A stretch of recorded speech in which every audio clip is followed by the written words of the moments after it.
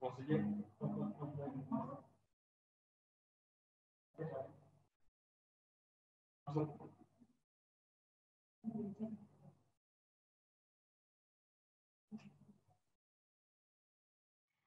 selamat pagi semuanya. Hai.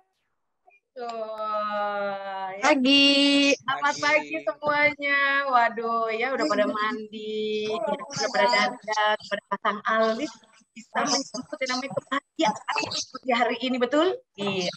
Untuk itu senang sekali saya Tiara Sadikin bisa kembali lagi hadir dalam acara Entrepreneurship mencari jagoan lokal saya persembahan dari OCBC NSP dan juga Kompas Gramedia Majalah. Tepuk tangan dong untuk KG Media dan juga OCBC NSP. Anyway, pada kesempatan pagi hari ini tentu saya pengen banget menyapa ke seluruh 30 UMKM yang memang sudah beruntung bekerja sama dengan Kompas eh, KG Media dan juga OCBC NSP. Untuk itu saya minta kesediaannya kepada Bapak Ibu untuk mengaktifkan videonya. Nah, ya. Saya akan cek satu per satu, Bapak Ibu. Halo. Nah, ini halo Pak Brion. Wah, Pak Brion udah ganteng banget di pagi hari ini, Pak Brion nih, ya. Halo. Halo, Pak Brion. Selamat pagi. Selamat pagi. Terus juga ada Kang Asep Mulia di official nih, lagi eh, siap-siap uh, ya Kang Asep ya, kumaha darah mangkal? Alhamdulillah Tete cantik. Oh, Aduh, oh, alhamdulillah. Suaranya cetar. Bener ya harus cetar Mbak karena kan udah makan nasi uduk pagi ini. Iya bener ini ya. yang menghangatkan suasana ini Teteh ini nih. Mantap. Berikutnya saya pengen banget menyapa Kak Rani dari UD Berkah Alam nih. Mana nih Kak Rani nih? Hai Kak, wah udah cantik ya, udah membahana, membahenol, benar-benar hmm. benar ya. Dan tampaknya seluruh rekan-rekan peserta UMKM yang berjumlah 30 orang ini sudah siap. Ada Mbak Yesi dari Fashionistas. Hai Mbak Yesi, how are you today? Hai Mbak. Hai. Baik-baik. Terima Wah. kasih Mbak. Apa kabar hari ini? Alhamdulillah baik ya. Puji Tuhan baik sehat walafiat. Dan untuk itu selamat pagi bagi seluruh 30 UMKM yang belum sempat saya sebutkan satu persatu. Ada Mas Dani juga, ada KN Listio Singgi juga ya. Selamat pagi semuanya. Dan pada kesempatan kali ini tentu saya senang sekali Tiara Sadikin masih bisa kembali hadir bersama-sama dengan Anda untuk bisa menikmati dan juga belajar bersama mengenai bagaimana sih cara untuk bisa memperkuat brand kita atau branding yang tepat itu seperti apa agar supaya lebih terasa, terdengar dan juga mudah diingat oleh banyak kalangan masyarakat yang ada di Indonesia bahkan di seluruh dunia. Dan pada kesempatan kali ini juga memang OCBC, NISP, dan juga KG Media bekerja sama untuk bisa membuat acara entrepreneurship mencari jagoan lokal sehat. Dengan harapan acara ini juga mampu untuk bisa membuat kita itu jauh lebih uplift atau melakukan improvement-improvement tergila atau bahkan tidak tertebak oleh para rekan-rekan kita yang lain di luar sana. Yang pasti agar supaya brand kita akan semakin kuat dan juga semakin berkualitas produk-produk yang kita punya. Dan untuk itu pada kesempatan kali ini juga saya ingin uh, mengenalkan kembali untuk Bank OCBC NISP. Ini merupakan bank yang memang sudah lama sekali berada di Indonesia sekitar 80 tahun. Jadi kebayang ya, kira-kira di sini yang paling lama boleh tulis di kolom komentar, paling lama usaha Anda ini sudah berjalan berapa tahun? Saya pengen tahu kira-kira ada berapa tahun usaha Anda? Boleh ditulis di kolom komentar di bawah, monggo.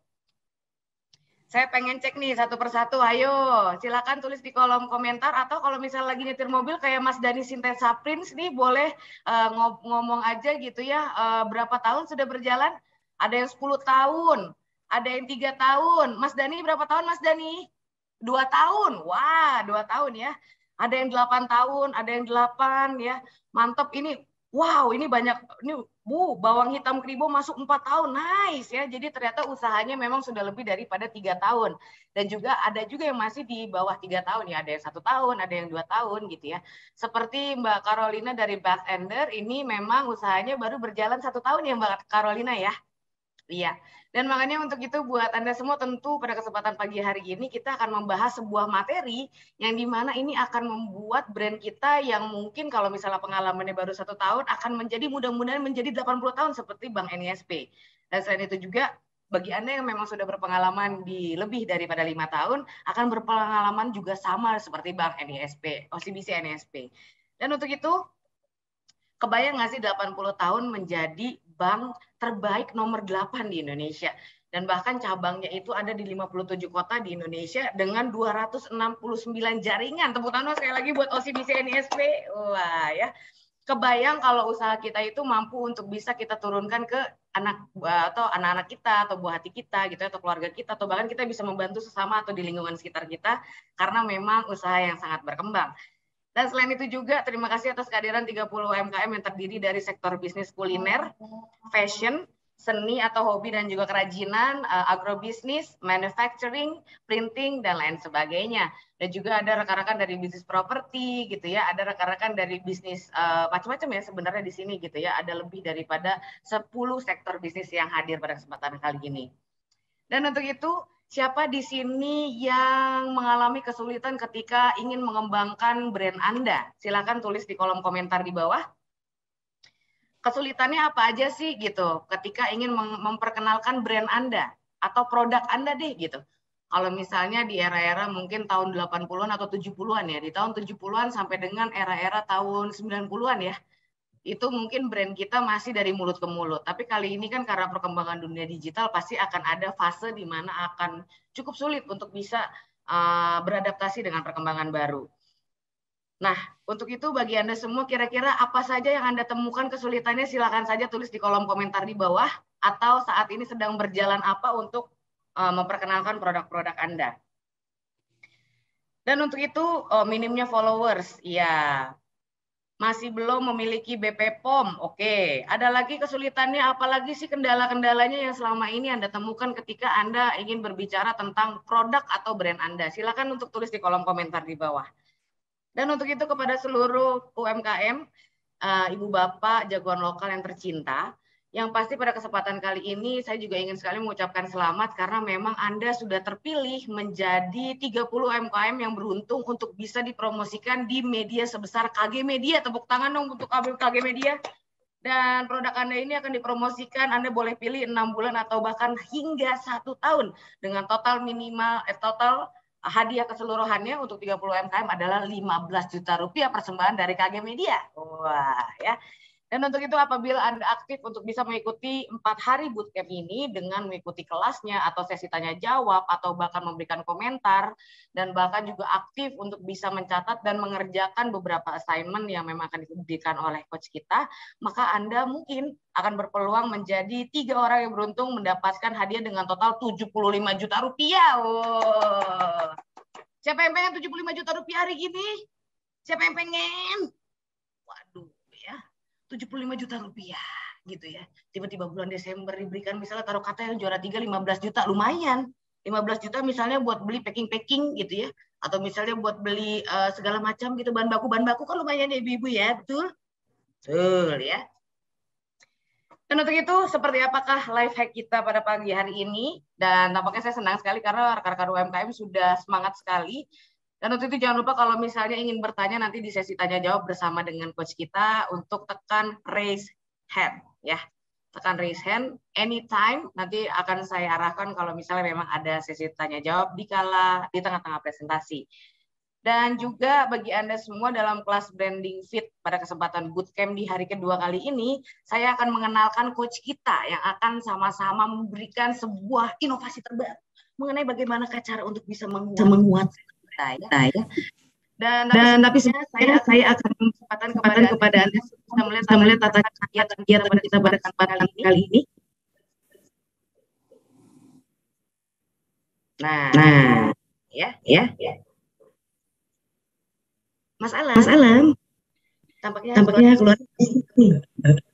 Coba ya. Coba ya. Untuk itu, untuk itu kepada rekan-rekan boleh uh, lihat uh, lihat dulu cara kegiatan. Kak, suaranya, Kak, suaranya ada, ada dubbingnya. Iya. Iya, ada ini ya. Silakan, silakan. Apa? Apa? Coba. Coba. Set, set. Nggak mau? Nggak mau?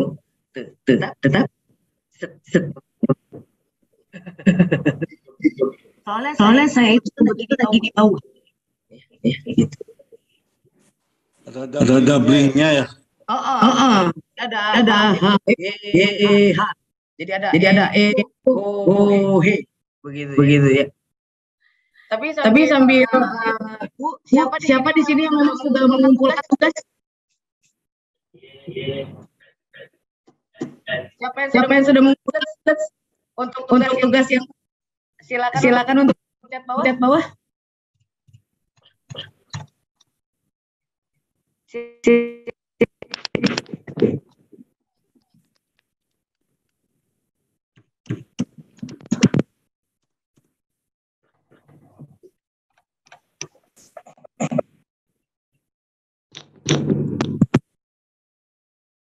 Punya tim yang tim yang cukup mas katanya, katanya gitu. Dari asal dan katanya tugasnya. Ini man, ini man, kosmofon di suaranya suaranya gan kan ini kan ini pak. Kan aja kan aja kan. Iya. Sebentar sebentar lagi di saya. Saya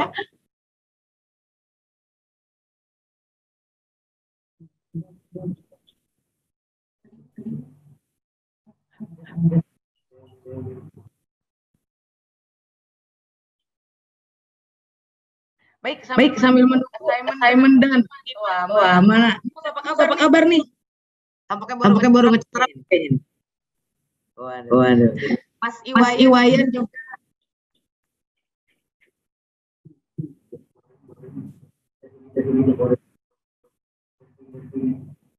Cek mic. Cek mic. Cek, cek. Gimana masih, Gimana masih dengar kan? kan? ada ada. Masih ada rekan-rekan kita hai hai. Hai hai. Hai. Eko. Eko.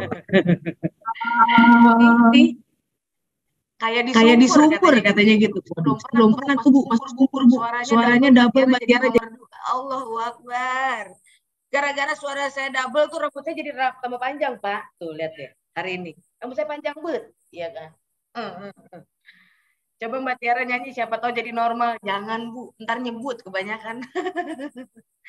Baik, untuk itu kepada seluruh rekan-rekan UMKM Bapak Ibu uh, yang di mana pun Anda berada, kita akan lanjut saja. Untuk itu saya akan langsung saja memperkenalkan untuk coach kita pada pagi hari ini. Tepuk tangan dong sekali lagi. Inilah dia coach tercinta kita Pak Handoko Hendroyo. Ya. Pak halo, Handoko halo. ini beliau sejak tahun 1889 eh 1889 ya kan 1989 telah terjun di dunia brain dan juga sebelumnya menjadi co-founder M Block Space dan Kebun Ide serta konsultan branding di berbagai biro iklan di Indonesia atau bahkan multinational company loh. Mantap. Telah menulis empat buku, memproduksi empat film dan juga uh, dua serial televisi. Dan berikut adalah uh, coach kita. Inilah dia coach Handoko. Tepuk tangan sekali lagi buat coach Handoko. Hai coach. Halo, wah saya jangan dipanggil coach ya. lagi Pak. Iya, kalau kalau aku panggil Mas kan gimana? Gitu? Panggil gitu. Mas saja. Oke. Okay. Mungkin uh, suara saya nggak nggak double ya. Kalau suara saya nggak ya, double. Suara coach aman hari ini pagi ini. Yes. Oke, okay, terima kasih sekali uh, Tiara uh, untuk intronya. Uh, salam kenal uh, buat uh, para peserta uh, ini sebuah apa ajang yang uh, sangat bermanfaat ya yang digagas oleh KG Media dan OCBC NISP. Uh, nah, uh, saya uh, terus terang dikasih assignment untuk sharing tentang bagaimana membangun brand, membangun narasi, uh, apa namanya slok blok uh, apa namanya proses uh, membangun bisnis ya, membangun uh, apa namanya entrepreneurship lah Eh, bisa dibilang. Uh, maka uh, saya ada beberapa slide yang saya akan share. Slide-slide itu sebenarnya lebih ke coret-coret saya yang berdasarkan dari pengalaman pribadi. Jadi apa namanya mohon dilihat sebagai sebuah referensi bagaimana saya membangun brand. Tentu membangun brand ini apa ya angle-nya banyak Uh, jadi uh, semakin kita banyak belajar, uh, kita akan semakin kaya bagaimana kita bisa uh, membangun brand. Uh, karena banyak sekali ilmu yang uh, bisa kita pelajari tiap hari. Saya pun juga masih uh, banyak belajar. Nah, untuk itu uh, boleh dibantu di-share slide saya. Uh, saya akan uh, memberi judul uh, sederhana sekali, uh, yaitu uh, bercerita. Nah, karena uh, pada dasarnya uh, pengalaman saya uh, membangun brand itu adalah membangun cerita.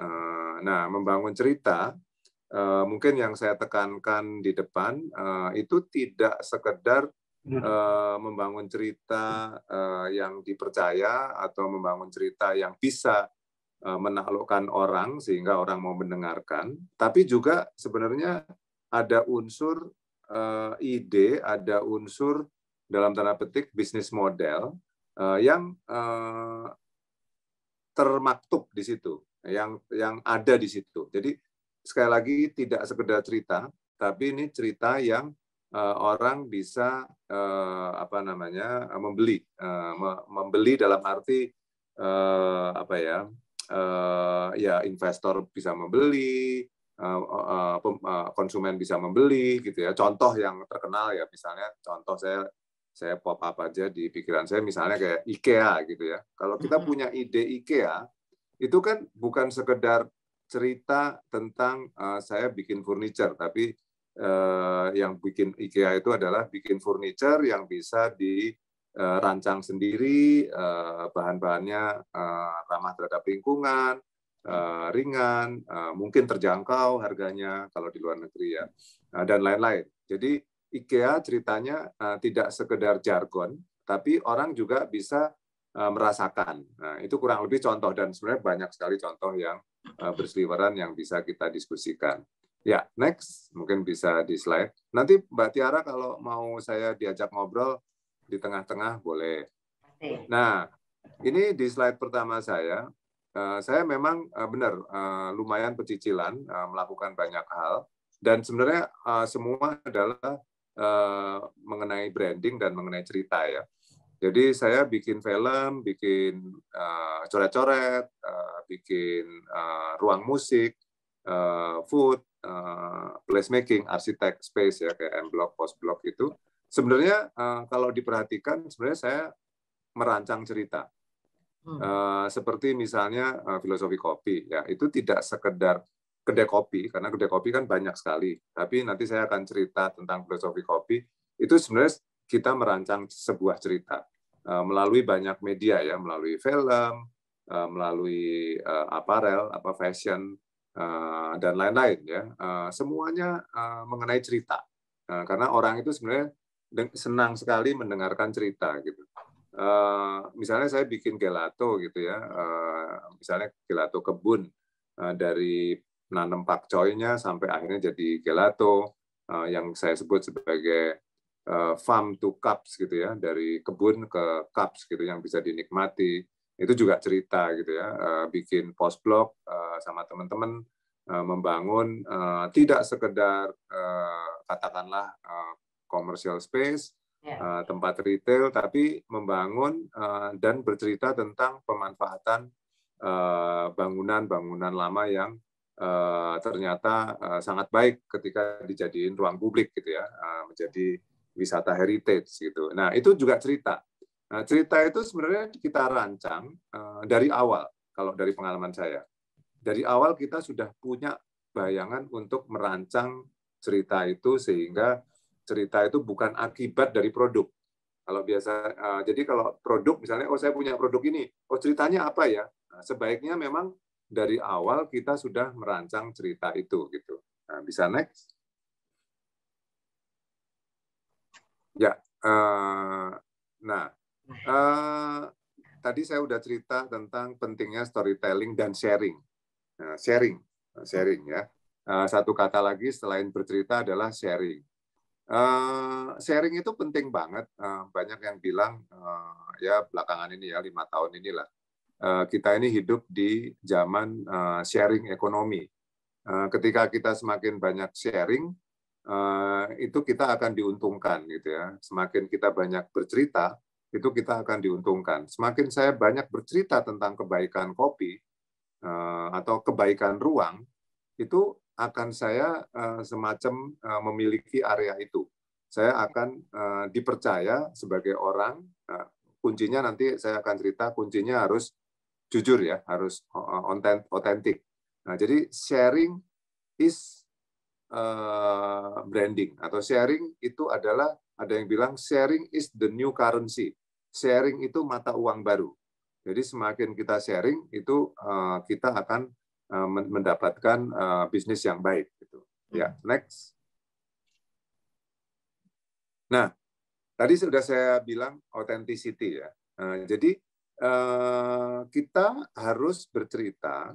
Ini saya gambar dari contoh-contoh produk-produk lokal yang luar biasa ya. Uh, misalnya kayak Japara gitu ya, Mbak Heli atau misalnya apa sebut saja sejauh mata memandang atau Lulu Lutfi Labibi di Jogja itu eh, rata-rata kuat dengan otentisitinya apa keasliannya keotentikannya nah hmm. otentik itu penting banget untuk kita punya cerita yang baik uh, dan dari sini saya percaya bahwa kita nggak usah terlalu fokus di kompetisi wah ini kompetitor kita ini ini segala macam wah kalau pusing di kompetitor, misalnya saya di filosofi kopi gitu, wah kompetitornya banyak sekali, malah pusing. Kita konsentrasinya, saya konsentrasinya dengan teman-teman di otentiknya brand filosofi yang kita miliki. Kita nggak apa-apa justru mengapresiasi kedai-kedai kopi yang lain contohnya. Karena zaman sekarang adalah zaman yang otentik. Nah, jadi kalau teman-teman semua punya cerita yang otentik, produk yang otentik, eh, brand yang otentik, sharing aja tentang authenticity-nya itu. Ya, next. Nah, uh, authenticity itu banyak. Nah, makanya ini authenticity tadi nggak cuma sharing is the new currency, authenticity is the currency. Authenticity itu jadi mata uang, menjadi uh, apa sesuatu yang berharga. Macam-macam. Uh, kalau kita ngomong kopi ini dari Bajawa, uh, apa namanya uh, di di mana uh, Aceh, Gayo, uh, di Wamena segala macam banyak sekali kita ini di lingkungan kita ini banyak sekali sebenarnya cerita-cerita yang menarik, authenticity authenticity yang menarik. Saya bersyukur sekali bisa menemui petani-petani uh, di di mana-mana ya, uh, di Flores, di Eh, Bali segala macam. Jadi saya bisa merasakan eh, dan biasanya saya gambarkan eh, apa sahabat-sahabat kita yang memang penuh dengan authenticity ini nggak bisa diremehkan. Ini sesuatu yang sangat kuat ada di sekitar kita. Next. Nah, nah intinya adalah uh, ini awal dari contoh uh, filosofi kopi ya. Waktu itu filosofi kopi ini ini mirip nggak sama Julia Estelle. Nah saya saya gambar di bagian dari filmnya ya uh, uh, cerita tentang kopi tiwus. Waktu itu uh, uh, Angga Sasongko sama uh, geng filosofi kopi saya yang lain, uh, Ciko Jericho, Rio Dewanto, uh, kita uh, membuat film uh, Anggia Eh, dan membangun narasi yang awalnya adalah narasi tentang kopi tiwus. Eh, kopi yang eh, tiwus itu salah satu produk yang kita hasilkan, yang ceritanya adalah Pak Seno, petani, dari novelnya Mbak Dewi Lestari, Pak Seno, petani yang suka merawat pohon kopinya, yang dikasih nama tiwus. Nah, tiwus itu nama anaknya, dan anaknya sudah meninggal karena kena wabah penyakit.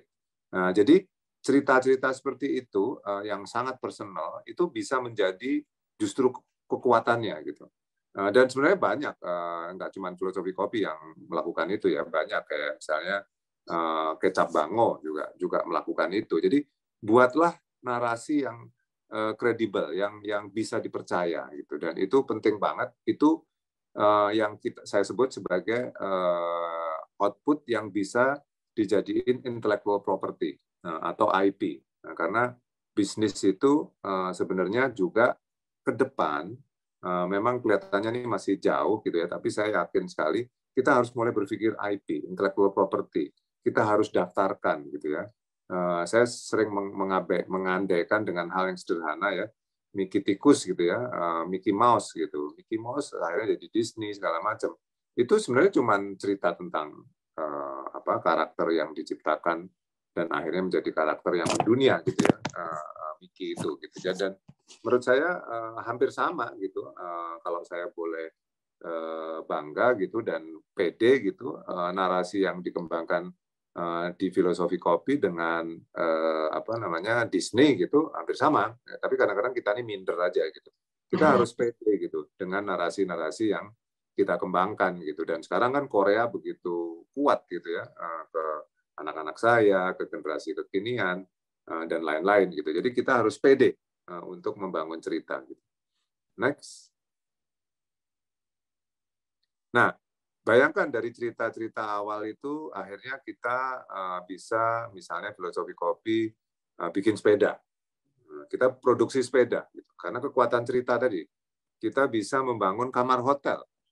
Nah, ini kamar hotelnya nih uh, belum lama ini dibuka di Bandung di salah satu kedai filosofi kopi kita uh, yang tempatnya jadi satu sama hotel di, di mana ada Go Pakar Eh, nah, ini yang di dinding ini gambar-gambar saya, nah, karena saya hobi gambar. Eh, dan sebenarnya eh, dari narasi tadi kita bisa membangun apa ya mitos gitu, bisa membangun narasi-narasi yang semakin kuat dan semakin kuat gitu. Dan narasi ini kita sampaikan ke banyak orang ya ke Kang Emil atau ke Pak Jokowi atau ke teman-teman kita atau ke orang-orang di luar negeri gitu kita sampaikan saja cerita-cerita kita ini gitu. Karena cerita itu prinsipnya menebar ya dan menebar dan menyebar. Nah, ketika dia kredibel ketika dia meyakinkan uh, jangan jangan melihat uh, saya yang kelihatannya uh, apa namanya uh, mungkin ya kalau saya boleh gr gitu gaul sama artis. Oh mas Andoko bisa karena gaul sama artis. Enggak. Uh, contoh contoh ya contoh. Haji Iis di Jogja, ini saya, saya kebetulan di Jogja, dia punya restoran namanya eh, Bumi Langit. Eh, di jauh dari Jogja di Imogiri. Saya pernah ke sana. Dan saya beruntung ke sana sebelum uh, Michelle Obama dan uh, apa uh, Barack Obama ke sana. Uh, saya dengar dari info di dari teman saya, Michelle Obama itu pengen ke Bumi Langit karena dia memakai narasi atau memakai pendekatan experience permaculture. Dia uh, punya peternakan kambing uh, yang kotorannya bisa untuk menyuburkan uh, tanaman uh, dan lain-lain uh, dengan pendekatan permaculture yang cukup uh, komprehensif dengan data yang kuat. Dan akhirnya uh, Barack Obama dan uh, Michelle Obama datang ke sana. Uh, teman saya Mbak Mbak Mbak Tisa uh, kemarin didatangi oleh ratu uh, saya cuma didatengin Kang Emil ya uh, Mbak Tisa itu didatengin oleh ratu dan pangeran dari Belanda ketika dia membuat perkebunan uh, coklat uh, coklatnya namanya Bibiltin itu uh, dengan pendekatan uh, apa tanggap terhadap lingkungan uh, dia uh, memberdayakan uh, lahannya dengan baik uh, dikelola dengan baik sehingga burung yang hampir punah di wilayah situ tidak jadi punah. Dan akhirnya dia didatengin oleh ratu dan uh, pangeran dari Belanda. Belum lama ini ya, beberapa bulan yang lalu. Artinya apa? Narasi itu kuat sekali magnetnya gitu. Next. Apakah narasinya menggunakan bahasa Indonesia, Pak? Kenapa? Narasinya menggunakan bahasa Indonesia, Pak. Uh, kalau mengenai bahasa sekarang uh, apa kan uh, fasilitas banyak ya, uh, yeah. ada Google Translate uh, dari yeah. bahasa Indonesia gampang sekali diterjemahkan ke berbagai bahasa. Yeah. Uh, tapi uh, harus dilihat konteks dan tempatnya. Kalau memang di tempatnya uh, terekspos secara internasional ya kita harus uh, dual language ya. Yeah. Uh, uh, yeah. Jadi uh, kita harus fleksibel ya, maksudnya untuk ini. Tapi menurut saya uh, itu hal yang bisa dihandle gitu. Dan, dan ketika mudah dan cepat bisa diserap uh, oleh uh, apa uh, oleh orang luar gitu uh, itu juga akan lebih baik. Tapi jangan lupa ya, ya. Uh, bahwa bahwa kita mengcreate uh, narasi ini walaupun bahasa Indonesia kan kita bisa kalau narasi kita sangat sangat baik itu akan bisa diliput oleh media. Nah, diliput oleh media artinya juga akan spreading. Uh, nanti akan uh, apalagi kalau medianya yang kredibel gitu ya, uh, itu akan sangat baik gitu ya oleh grup KG Media misalnya, uh, ya. itu akan sangat baik uh, untuk misalnya ini saya selanjutkan misalnya brand jadi ikon gitu, kita bisa jadi ikon ketika uh, narasi atau cerita yang kita kembangkan itu uh, benar-benar baik gitu. Nah, itu itu uh, portfolio yang harus kita bangun. Next, jadi brand jadi ikon brand jadi ikon. Jadi narasi tadi bisa jadi ikon. Ini contoh yang sedang saya lakukan. uh, saya membantu Sarina. Nah, kenapa saya membantu Sarina? Saya juga nggak nggak sebenarnya nggak obral jadi uh, konsultan karena udah pusing ngurusin sendiri. Uh, tapi saya mau jadi konsultan Sarina karena saya anggap Sarina ini menjadi tempat yang sangat penting untuk brand lokal. Yeah. Ya. Uh, saya sarankan Sarina untuk menarasikan uh, otentisitas Sarina dan menjadikan Sarina sebagai uh, public mall, uh, sebagai eh sorry community mall, mall yeah. untuk komunitas. Uh, jadi nanti nggak ada pagar, semua orang bisa masuk, masuk. Uh, banyak komunitas yang berkumpul di sana. Jadi dari awal saya plotkan narasinya eh, dan dipercaya oleh orang eh, Sarina, CEO-nya segala macam stakeholder Sarina, sehingga itu disampaikan ke publik dan harus dibuktikan oleh Sarina. Sarina hari ini ada event komunitas, eh, saya tidak ada di sana, tapi eventnya berjalan. apa ada talk show dengan apa Jakten Jakarta Content Week, Jakarta Content Nah, dan itu berkembang menjadi konten internasional, tapi juga merangkul pelaku-pelaku eh, brand-brand lokal, pelaku-pelaku eh, kreatif lokal, dan itu sebuah, sebuah bukti, eh, Tiara, bahwa ya. ini adalah sebuah apa namanya tadi apa community mall, karena ya. community mall sesuatu yang baru, tidak ada mall yang mall itu kan uh, apa ya uh, kayaknya intimidating ya apa namanya uh, kita mau masuk juga takut gitu ya. Iya. uh, kita kayaknya uh, ada kesenjangan sosial uh, ya. Betul uh, iya. jadi sebagai community mall gitu. Ya next. Keren pak. Jadi Sarina bapak nih pak iya konsultan ya. bukan punya saya tahu nggak pak saya tuh punya pemerintah apa, Oh, saya tuh kagum nih Pak, karena par dari parkirannya aja nih Pak, karena kan kebetulan uh, rekan saya kerja di Sinarmas Pak, kan dekat okay. Tupa. Nah terus nah. tiba-tiba kok parkirannya keren banget Pak, gitu. Itu baru parkirannya doang Pak, udah kayak gimana? Oh iya, ya. maaf ya Pak. Terus berikutnya juga ini Pak, kok gedungnya, tapi belum buka saat itu. Kalau sekarang udah buka ya Pak? Belum, belum. Nah, sekarang lagi ada event khusus saja. Nanti bukan oh. di bulan Maret.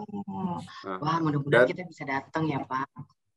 Yes, harus dong. Nah, ini contoh-contoh uh, apa keyakinan saya. Saya kan juga, saya ini kan juga brand ya. Saya juga Handoko ini brand. Jadi masing-masing dari kita ini Tiara brand, saya brand. Uh, nah, saya brand uh, itu harus punya istilah saya itu harus punya purpose, harus punya tujuan uh, yeah. harus punya concern.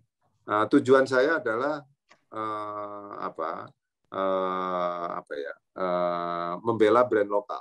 Iya. Membela yeah. ini bukan berarti terus uh, pengen menjadi pejuang uh, segala macam. Pasti saya punya alasan. Purpose namanya purpose pasti punya alasan.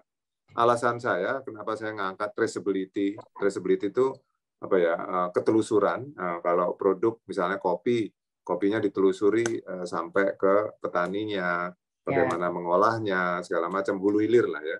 Eh, dan akhirnya saya membuat M Block Market. Eh, kenapa? Karena saya merasa orang Indonesia itu, kita ini sebagai bangsa ini eh, yang penuh dosa, apalagi generasi saya, itu uh, ini apa uh, tidak mengenal asal muasalnya. Contoh yeah. saya sendiri, uh, boleh cerita itu boleh personal ya. Uh, ini cerita personal kan. Saya ini lahirnya di Jawa Timur di sebuah kota kecil tapi saya nggak kenal pertanian. Lucu kan? Uh, uh, dari kecil saya tidak dikenalkan oleh pertanian. Gitu. Mungkin walaupun saya hidup di kota kecil ya, di kabupaten lah ya, di Jawa Timur gitu, sampai SMA. Nah itu membuat saya agak aneh gitu dan menurut saya ini kita harus memberdayakan uh, apa ketelusuran itu traceability karena kekuatan kita sebenarnya ada di eh, ya kalau kopi ya di, di pertanian, di laut eh, dan lain-lain gitu. Jadi eh, saya membuka menarasikan M Block Market misalnya itu sebagai local as the new global. Eh, lokal itu adalah tren global baru gitu dan cerita saya membuat cerita menarik dari hulu karena itulah yang menarik sama seperti yang Haji Is tadi lakukan atau Mbak Tisa dengan uh, Pipiltin lakukan. Nah itu menarik ya. Next slide saya masih banyak nanti saya takutnya waktunya habis. Enggak ya, masih ya? Enggak Pak, tenang Pak. Dua hari masih juga ya? temenin Pak. Oh dua hari. Nah uh, hubungannya uh, misalnya di M Block Market, uh, saya sangat yakin uh, M Block Market ini ada di M Block uh, Space dan ada di Post Block, yang di Post Block Mini. Saya tuh semakin yakin ya uh, di narasi saya, uh, future retail, uh, masa depan retail itu ada di local business, ada di lokalitas gitu, ada di teman-teman semua. Kenapa? uh, saya yakin uh, bahwa uh, planet yang semakin rusak ini uh, ya. karena emisi gas buang, uh, apa mungkin pupuk yang berlebihan segala macam, seluruh dunia ini lagi concern terhadap hal-hal seperti itu. Ya. Uh, dan uh, ini yang membuat lokal-lokal uh, ini uh, kita harus banyak menarasikan tentang lokalitas itu gitu di M Block Market itu ada sekitar 4.500 SKU produk-produk lokal yang kita yeah. kurasi dan keren-keren yeah. dan membanggakan sekali gitu dan itulah yang harus kita angkat lokalitas yeah. kita itu ya next salah satunya keripik-keripik pisang tuh di sana pak yes betul nah uh, tadi uh, ini penting nih ini walaupun coret-coret uh, sederhana ya tapi ini penting banget untuk teman-teman Nah, termasuk saya sendiri mengingatkan ya, kalau membuat narasi itu, membuat storytelling itu harus meliputi ini ya, meliputi ya. tiga hal. Ide, pertama ide. Ide itu mahal, tapi ada yang lebih mahal sebenarnya. Ya, ide itu misalnya saya bikin uh, apa ide uh, saya katakanlah ya awalnya filosofi kopi gitu ya. Idenya awal, awalnya kan uh, wah keren ya melalui film harus kita bikin ekosistem segala macam itu kan ide ya. ya. Uh, terus ekosistem kita bangun uh, apa namanya uh, revenue streamnya ini ya. nanti uangnya dari bisa dapat dari uh, apa aparel, dari kopi, dari beans, dari uh, segala macam ya, dari kedai, uh, event segala macam. Nah, yang berikutnya adalah eksekusinya atau ya. SOP-nya. Itu juga penting. Jadi ide, model bisnis, dan SOP. Kalau bisa, waktu kita bercerita, narasi kita itu sebenarnya udah terbersit uh, ide, model bisnis, dan eksekusinya. Sama seperti saya tadi cerita tentang M Block Market. M Block Market tadi kan saya bercerita bahwa ini adalah tempat eh, apa etalase lokal UKM UKM yang eh, apa eh, traceability-nya bagus segala macam segala macam. Kan sudah di narasinya itu sebenarnya sudah terbersit sedikit tentang bisnis model potensi bisnis model. Dan kesulitan eksekusinya juga udah kebayang. Berarti nanti harus bikin SOP seperti ini, pembayarannya uh, harus uh, transparan, uh, para ininya juga apa UKM yang terkurasi tadi juga harus memperhatikan traceability segala macam. Jadi uh, ide bisnis model dan SOP atau eksekusi itu harus kita pikirkan dari awal dan itu yang menjadi bisnis kita bisa uh, sustain. Jadi ini kalimat yang sebenarnya sederhana, tapi ini sulit sekali dilakukan semakin ke bawah semakin sulit. Ide itu kelihatannya mahal, tapi yang lebih mahal dari pengalaman saya, saya sama teman-teman membangun filosofi kopi, contohnya ya, karena yang paling lama ya, eh, itu SOP-nya, bangun SOP-nya tuh sampai hari ini juga masih harus diperbaiki dan diperbaiki lagi. Harus ada progres, harus ada progres. Itu yang menjadi menarik bisnis ini. Jadi nggak pernah henti. Gitu. Next.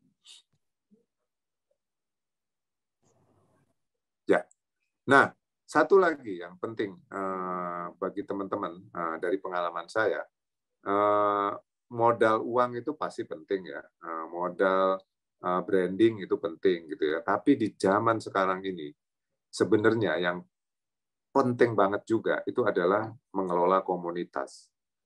Bagaimana kita bisa komunitas atau crowd ya, kerumunan atau apa ya kalau kalau teman saya mengistilahkan gerombolan.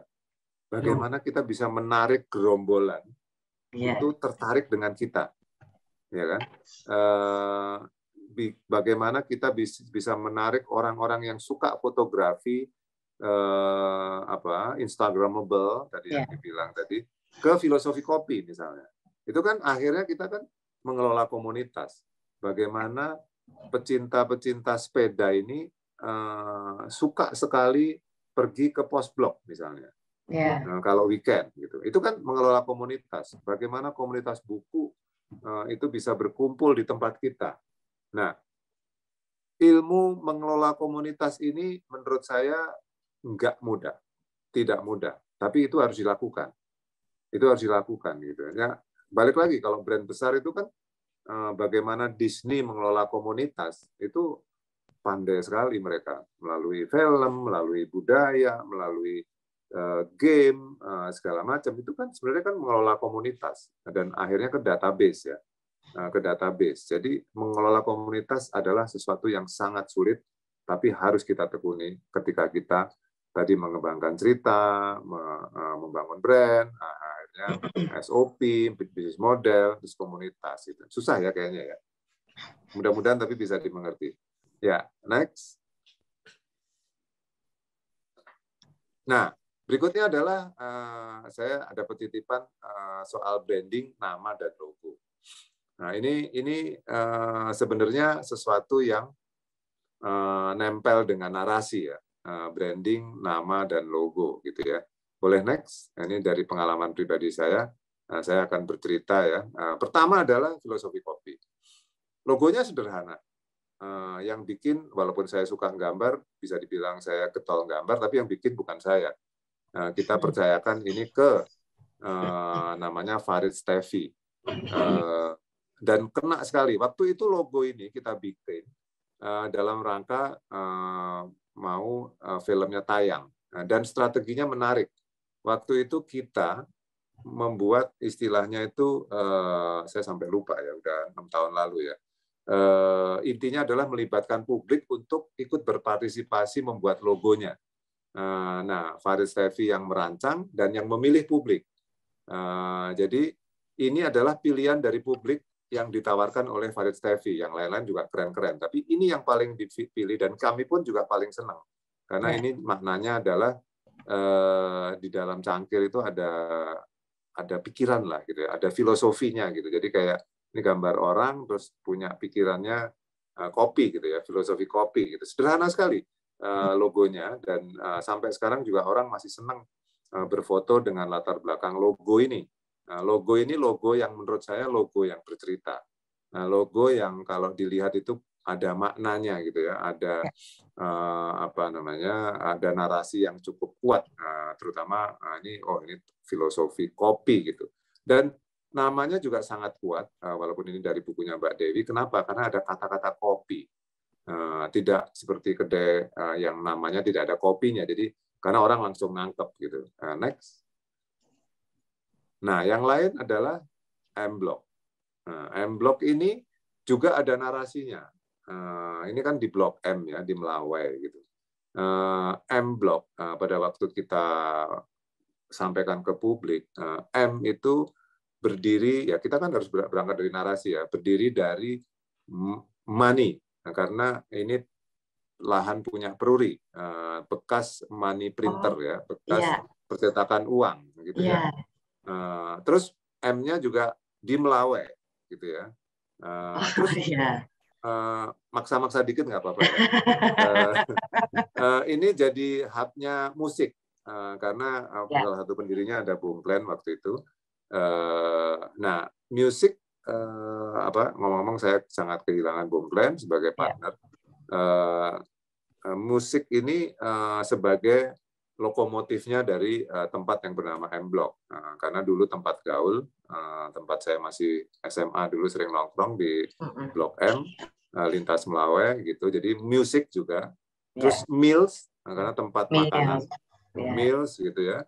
Uh, terus apa lagi? Eh, yang terakhir adalah eh, balik lagi ke money, dia harus bikin duit, harus menghasilkan uang gitu dari money printer eh, dan akhirnya bisa menghasilkan cuan gitu ya, bisa ya. menghasilkan untung. Nah, jadi eh, itu narasi yang eh, namanya kita kembangkan di Mblock. Logonya sendiri eh, kita bikin eh, sangat ngepop, eh, sangat uh, musical gitu ya dan kita meng-hire uh, Ucok namanya bekas musisi yang uh, dia desainer juga. Uh, kita sengaja memilih sosok yang pas gitu ya, nah, karena ini tempatnya sangat uh, apa uh, culture gitu ya. Nah itu kita pilih Ucok yang membangun logonya. Oke, okay, next. Nah berikutnya adalah post block. Ini yang yang bikin juga Ucok. Uh, ini ini adiknya M Block. Ya. Uh, post block ini uh, tempat heritage bangunan yang lebih lama uh, dibangun di tahun 1913. Uh, kita beruntung sekali uh, bisa di kasih kepercayaan untuk bekerja sama dengan kantor pos, eh, bekerja sama dengan kantor pos gitu dan ini adalah karena adiknya ada kata-kata blok dan pos blok menjadi tempat hits baru gitu ya di uh, Jakarta Pusat uh, dan uh, saya pribadi secara subjektif sangat senang dengan logonya keren banget menurut saya uh, next nah ini yang berikutnya adalah M Block Market M Block Market ini tim kita yang bikin ini pengembangan dari M Block Space dan akhirnya menjadi grocery store gitu ya. Yeah. Dan uh, dan masing-masing punya narasi pasti ya seperti yang saya tadi bilang. Ini narasinya lokalitas uh, kenapa kita pilih warna hijau? Karena uh, uh, apa traceability tadi ya uh, yeah. segala macam. Ya next. Nah ini sekelumit logo ya, tentu kalau ngomong logo banyak ya, tapi intinya intinya adalah kita harus membuat uh, pembicaraan, uh, sambung rasa gitu ya dari logo, dari branding.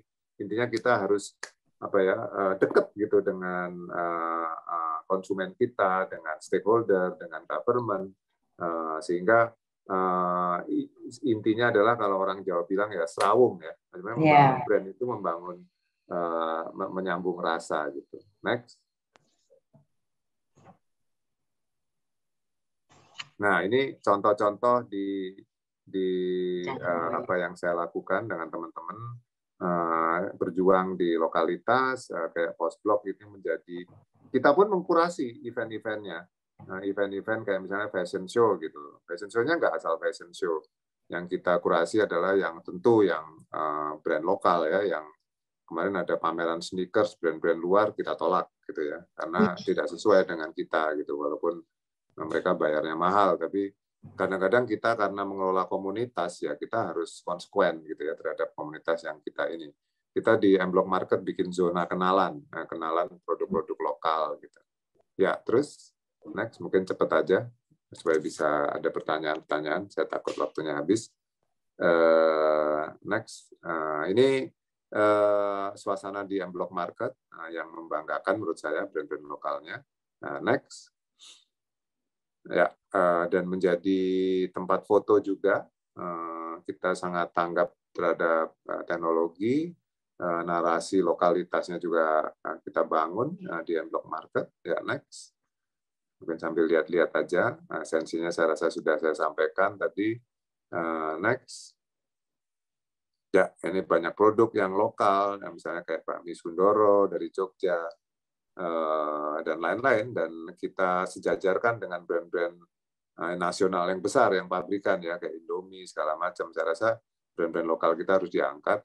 Nah, dan ini harus jadi movement ya. Nah, sebentar lagi besok saya ke Jambi eh, mau buka di Jambi M Block Market dengan narasi lokalitas dan mudah-mudahan akan banyak brand-brand dari setempat ya dari Sumatera terutama yang menurut saya juga potensinya sangat besar. Next. Ya. Next. Ya, nah ini ini uh, saya melihat suasana yang menyenangkan sekali uh, merayakan brand lokal keren uh, dan sudah waktunya sebenarnya. Nah, saya nggak habis pikir gitu, mall-mall semua seragam, semua di situ ada Uniqlo, ada eh, eh, SNM, semua seragam, semua harusnya masing-masing tempat itu punya kultur yang berbeda-beda gitu ya. Uh, lokalitas kita ini kuat sekali gitu. Oke, okay, next. Ya, uh, boleh next.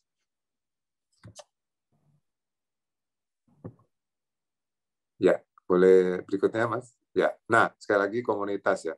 Oke, ini langsung ke tujuan brand. Uh, jadi uh, ini sengaja saya kasih subjudul supaya supaya uh, apa teman-teman dalam membuat narasi itu uh, sebenarnya uh, tadi saya sudah sebut tentang purpose kita harus menyelipkan tujuan brand kita gitu atau tujuan hidup dari brand itu. Jadi membangun brand itu sebenarnya uh, yang bagus uh, tentu ada tujuannya gitu ya. Tadi saya paling gampang ngambil contoh uh, apa uh, tadi ya Disney tadi ya. Disney itu apa sih sebenarnya? Uh, Mickey itu apa sih? Tu, pasti dia punya tujuan. Tujuannya pengen membuat orang bahagia. Happiness sebenarnya. Nah, itu kan tujuan yang cukup hakiki ya. Ya. Uh, mungkin kita ngelihatnya cuman wah dia jualan pintar, misalnya bagus segala macam. Tapi sebenarnya ada filosofi di baliknya. Nah, ya. kalau kita nggak punya filosofi yang kuat, ya tidak akan bisa berkembang sebesar Disney gitu. Eh, bayangkan loh, Disney itu hanya Mickey Mouse loh, Mickey tikus, tikus, ya. tikus kok bisa besar kayak gitu, itu gimana gitu kan? Nah, logikanya kan gitu kan ya, karena ada tujuannya yang kuat gitu. Next. Dan ini uh, saya tekankan uh, untuk uh, teman-teman kalau membuat branding itu ya tadi kayak di M Block ini jelas sekali kan tujuannya kan. Tujuannya menjadi ruang publik, uh, menjadi uh, apa uh, apa namanya uh, untuk tempat untuk dansa. Kemarin ada apa uh, swing uh, apa namanya uh, yang foto paling bawah kanan itu Indo Swing misalnya komunitas uh, dansa gitu bisa bergembira di situ gitu. Saya melihatnya juga ikut bergembira gitu. Ya. Karena ini menjadi ruang publik yang menggembirakan gitu dan membanggakan juga uh, membuat kita uh, proud gitu itu yang paling penting uh, bagi M Block misalnya next nah ini kan sekali lagi ada tujuan ya. Uh, tidak sekedar membuat ruang. Ya next sambil jalan aja mas. Nah ini juga uh, ini uh, tujuan dari Bong Glenn memberdayakan melalui musik uh, dan akhirnya dari musik bayangkan. Bung Glenn waktu awal tuh sudah selalu bilang ke saya, musik itu pendorong lokomotif bagi ekonomi yang lain, nah, bagi UKM, bagi fashion, bagi arsitek, nah, segala macam. Berarti kan ada tujuan nah, ketika bikin ini. Sekali lagi tujuan, penting banget. Ya, next. Dan tujuannya itu eh, apa namanya? Harus kita nyalakan. Ini kalimat dari Bung Glenn ya creative engine is on gitu ya. Nah, jadi uh, kita harus menyalakan uh, brand kita sehingga itu menjadi bergulir gitu. Nah, jadi uh, kalau Bung Glenn ini dari musik akhirnya macam-macam ya, dunia film, food, uh, segala macam. Itu kita harus istilahnya itu harus kita nyalakan. Breng. Begitu sudah nyala, breng kita bisa ngebut. Itu sebenarnya esensi membangun brand, menyalakan uh, mesin. Ya, next. Nah ini berikutnya, uh, ini ini uh, game changer bagi kita. Nah ini ini contoh narasi yang kita bangun berikutnya gitu, belum jadi, nah, tapi supaya teman-teman bisa ngerasain, kita bikin namanya fabrik blok. Kita dari data pabrik-pabrik bekas itu banyak sekali di Indonesia. Ini kita pertama kali akan buka di Padang uh, ada sebuah pabrik uh, pabrik seng besar sekali, pabrik seng yang sudah tidak berjalan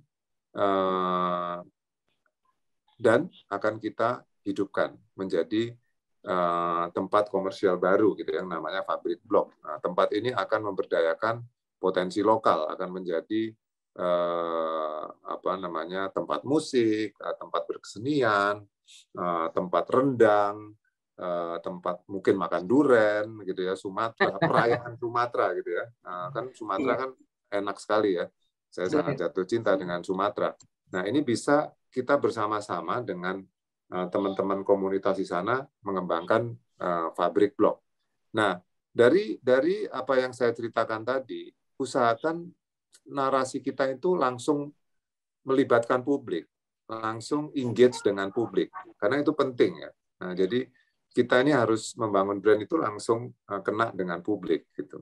Ya, next. Doa doain teman-teman mudah-mudahan bisa berjalan lancar pabrik blog. Nah, berikutnya uh, kita post blog ini akan buka lagi di Medan. Uh, di gedung pos juga yang di Jalan Merdeka. narasinya sedikit berbeda dengan yang Jakarta, ya pasti kita akan memberdayakan teman-teman di Medan sebagai yang saya sebut portal perkebunan terbesar ya Medan itu. Uh, kalau kita di kopi sangat hafal portal dari Arabica, hub, hub kopi dari Arabica itu ya di Medan. Uh, dan banyak perkebunan yang lain, uh, perkebunan karet, uh, makanya di sana ada sandal swallow dan lain-lain. Uh, terus foodnya juga sangat luar biasa. Uh, wah, sangat luar biasa uh, Medan potensinya. Kita bikin uh, post blok Medan. Ya, mudah-mudahan akan berakibat positif terhadap lingkungan di Medan. Nah, karena kita Amin. tidak pernah berpikir uh, eksklusif, kita berpikirnya inklusif. Uh, misalnya kayak pos, pos blok di pasar baru, kita pengen ngembangin juga wilayah pasar baru atau M blok pengen ngembangin wilayah di blok M gitu. Next. Ya, mungkin ada beberapa slide lagi. Cepat aja ya. Tadi cerita dari hulu ke hilir di Medan itu kuat sekali.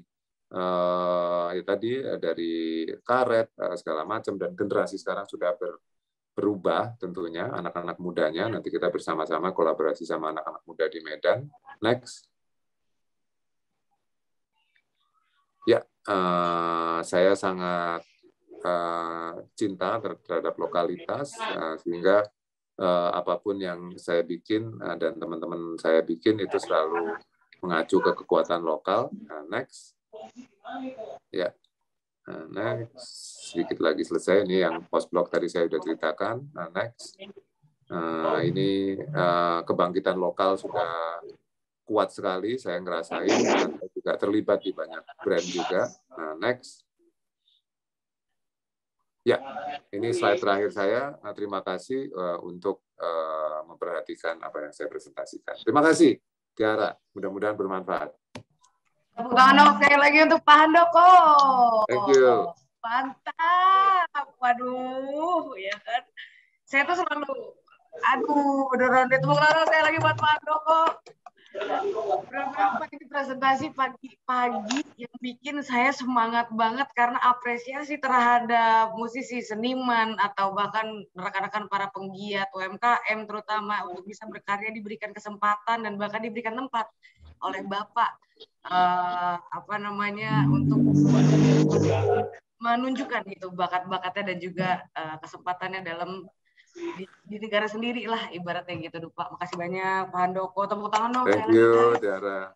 Mantap banget loh ini. Kalau seandainya rekan-rekan UMKM yang memang hadir hari ini pagi ini sangat beruntung sekali. Karena kalau misalnya rekan-rekan berada di kota yang tadi Bapak sebutkan seperti contohnya ada Medan, ada Padang, mungkin ke depannya juga Pasar Baru misalnya gitu atau di M Block juga misalnya bisa sama-sama ikut bergabung dengan kegiatannya Bapak ini bakal lebih seru ya Pak ya gitu kan. Amin. Amin. Dan untuk itu tadi Bapak juga sudah sempat ngejelasin sama kita semua bahwa emang sharing is uh, the new currency itu yang pertama. Terus authenticity gitu kan itu adalah salah satu hal yang memang harus dikedepankan karena banyak banget ya Pak sekarang narasi-narasi yang impactnya malah lebih ke negatif ya Pak dibandingkan dengan yang positif gitu. Jadi kalau misalnya kita mengedepankan authenticity kan mudah-mudahan narasinya akan kebangun juga ikut menyemangati gitu Eh, rekan-rekan uh, yang akan menerima dan juga menikmati produk kita. Yes. Juga local is the new global. Congratulations buat UMKM semuanya because you are the new global. Tepuk tangan dong buat UMKM kita. Produknya. Gemes ya. Dan makanya untuk itu buat eh, rekan-rekan uh, semuanya UMKM masih banyak lagi highlights-highlights yang memang sudah saya catatkan dari tadi uh, untuk presentasinya Pak Handoko This is the new spirit ever, Pak. Beneran deh, branding keren banget, Pak. Uh, salut buat Bapak. Dan buat rekan-rekan mungkin ada yang ingin bertanya, kami persilakan untuk bertanya yang pertama. Ini penanya yang pertama adalah Oke. Okay. Yang pertama dari Iwayan Pande Bungan Jempun. Bungan Jempun. Silakan ini dari Bali. Uh, Coach Handoko boleh silakan untuk ngobrol-ngobrol sama uh, Mas Iwayan Pande. Halo, Bli. Halo Bli. Gimana kabar Bli? Baik. Baik ya. Masih di mute Bli. Masih di mute. Dibuka dulu, dibuka dulu. Mute-nya. Wah nggak pakai kacamata plus nih makanya nggak kelihatan. Halo. Nah, halo. Halo Bli, apa kabar? Halo. Selamat pagi Pak Andoko. Selamat pagi. Nah, uh, Coach Handoko beli ini adalah salah satu UMKM yang memang usahanya sudah berpengalaman selama 10 tahun. beliau ini bisnisnya di uh, apa kayak Bali produk-produk Bali pada umumnya. Nah, apa beli namanya produknya beli? Produk Bali. Uh, uh, Bungan Jepun nama brandnya. Nah, itu uh, kosmetik khusus untuk kosmetik. Kosmetik. Kosmetik. Ah, ah. Ya, ada ada jual room amenities juga untuk lulur-lulur sama oil massage yang biasa digunakan di spa-spa yang ada di Bali seperti itu. Namanya apa, Bli? Sorry, Bli. Bunga Bungan Jepun, Pak. Bunga Jepun. Bungan Iya. Jepun. Bungan Bungan. Jepun. Bunga Jepun. Ya. Oke. Silakan beli untuk pertanyaan. Ah, ah, bagus sekali tadi pemaparan dari Pak Andoko ah, tentang apa peningkatan brandingnya. Saya mau tanya sedikit, Pak, setelah ah, dalam pembuatan apa cerita atau narasi ah, itu sharingnya atau cerita tersebut kita yang paling bagus disebarkan ah, lewat apa gitu, Pak? Ah, dengan mungkin keuangan yang tidak ah, begitu besar seperti itu. Nah, mungkin ah, dari Bapak eh, pengalaman Bapak itu pertama kali disebarkan lewat apa seperti itu. Ya. Ah, terus mengenai apa konsultan Rina, mungkin saya salah satu yang menikmati manfaatnya Pak. Kita juga salah satu apa lolos kurasi di Sarina. Jadi barang kita sudah ada di Sarina. Seperti itu. Itu aja Ya. Pak eh, yang saya ingin eh, tanyakan. Eh, sebaran untuk dari kita dari UKM yang bisa minimal biaya tapi manfaatnya besar seperti itu. Ya, oke. Iya. Eh, pertanyaan yang baik sekali, Bli. Terima kasih. Jadi eh, pertama adalah eh, seperti saya bilang tadi, kekuatan narasi ya, kekuatan storytelling berdasarkan dari eh, apa yang eh, Bli bikin gitu ya, secara produk.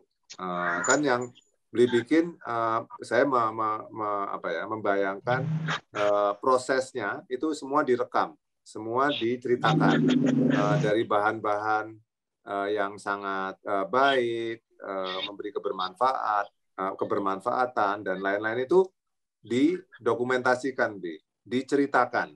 Nah, berceritanya disampaikan pertanyaan B kan gini, disampaikan di mana yang sesuai dengan eh, katakanlah nggak nggak berbiaya besar gitu ya. Eh, satu nomor satu itu yang paling penting di packaging, di packaging ya, di packaging kan packaging itu kan nempel kan. Eh, packaging itu nempel. Nah, di situ ceritakan segala kebaikan itu eh, secara eh, otentik tadi ya, keren, otentik segala macam di packaging. Karena packaging adalah eh, cara berkomunikasi pertama kali. Itu di situ. Ya. Nah, di packagingnya itu. Nah, itu eh, apakah Bli sudah menceritakan prosesnya, eh, narasinya segala macam coba. Itu itu eh, kurang lebih seperti apa dan itu itu nggak main-main. Packaging itu iklan berjalan, Bli. Apalagi kalau Bli sudah tadi eh, lolos kurasi di Sarina atau di airport di Bali atau toko oleh-oleh di Bali, packaging adalah muka yang paling depan Ya. kita. Nah, itu satu. Kedua, kenapa tadi saya bilang didokumentasiin, eh, diceritakan segala macam.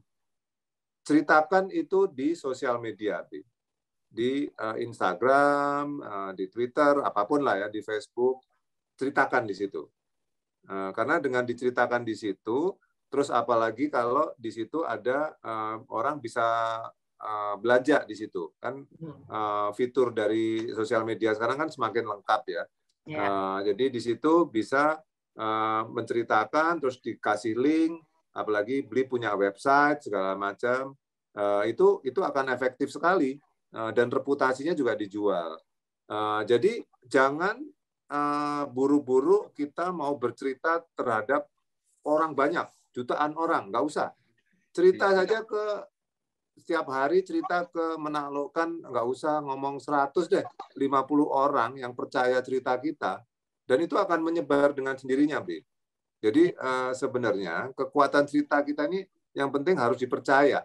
Eh, jadi jangan lihat saya ini sekarang Bi. Prosesnya kayak tadi saya cuma gambar tentang pabrik blok tadi itu udah bisa menyebar Bi. Saya nggak pernah eh, eh, apa namanya eh, berbayar atau berusaha untuk nyebarin ke banyak orang. Nah, karena sekarang ini kan informasi begitu mudah. Jadi intinya balik lagi ke cerita yang uh, meyakinkan, yang baik, dan uh, kita harus uh, apa namanya ya uh, sangat paham dengan stakeholder. Uh, tadi kalau packaging misalnya uh, ke airport atau ke ke store gitu ya, ke Sarina segala macam. Kalau misalnya sosial media itu ke mana gitu. Terus pameran, pameran juga. Pameran itu contoh uh, apa uh, forum yang pas uh, kalau misalnya pamerannya juga uh, beli kurasi yang yang sesuai gitu ya. Uh, karena kalau saya tadi dengar hubungannya sama spa spa segala macam uh, ada beberapa teman saya kemarin ada teman orang Jepang ya. Uh, namanya uh, uh, apa sih? Mana Living ya? Uh, itu di Ubud. Uh, itu uh, keren banget. Dan dia juga banyak sekali boleh uh, apa namanya uh, ke arah lingkungan lah gitu. Jadi sebenarnya uh, taklukkan orang-orang terdekat tapi uh, bermanfaat nih. Nggak usah muluk-muluk. Tapi sosial media penting Mungkin itu takutnya terlalu panjang. Nanti oh, saya iya, iya. sudah selesai. Nah, mantap kan? Mantap, nah, mantap. itu uh, Pak Handoko atau Coach Handoko itu di belakangnya beli kebetulan lagi ada packagingnya tuh, ada produknya, betul? Betul. Nah, coba dikasih lihat sama Coach Handoko coba. Nah, nah mengenai ini packaging, satu, ini salah satu juga mesti hati-hati beli.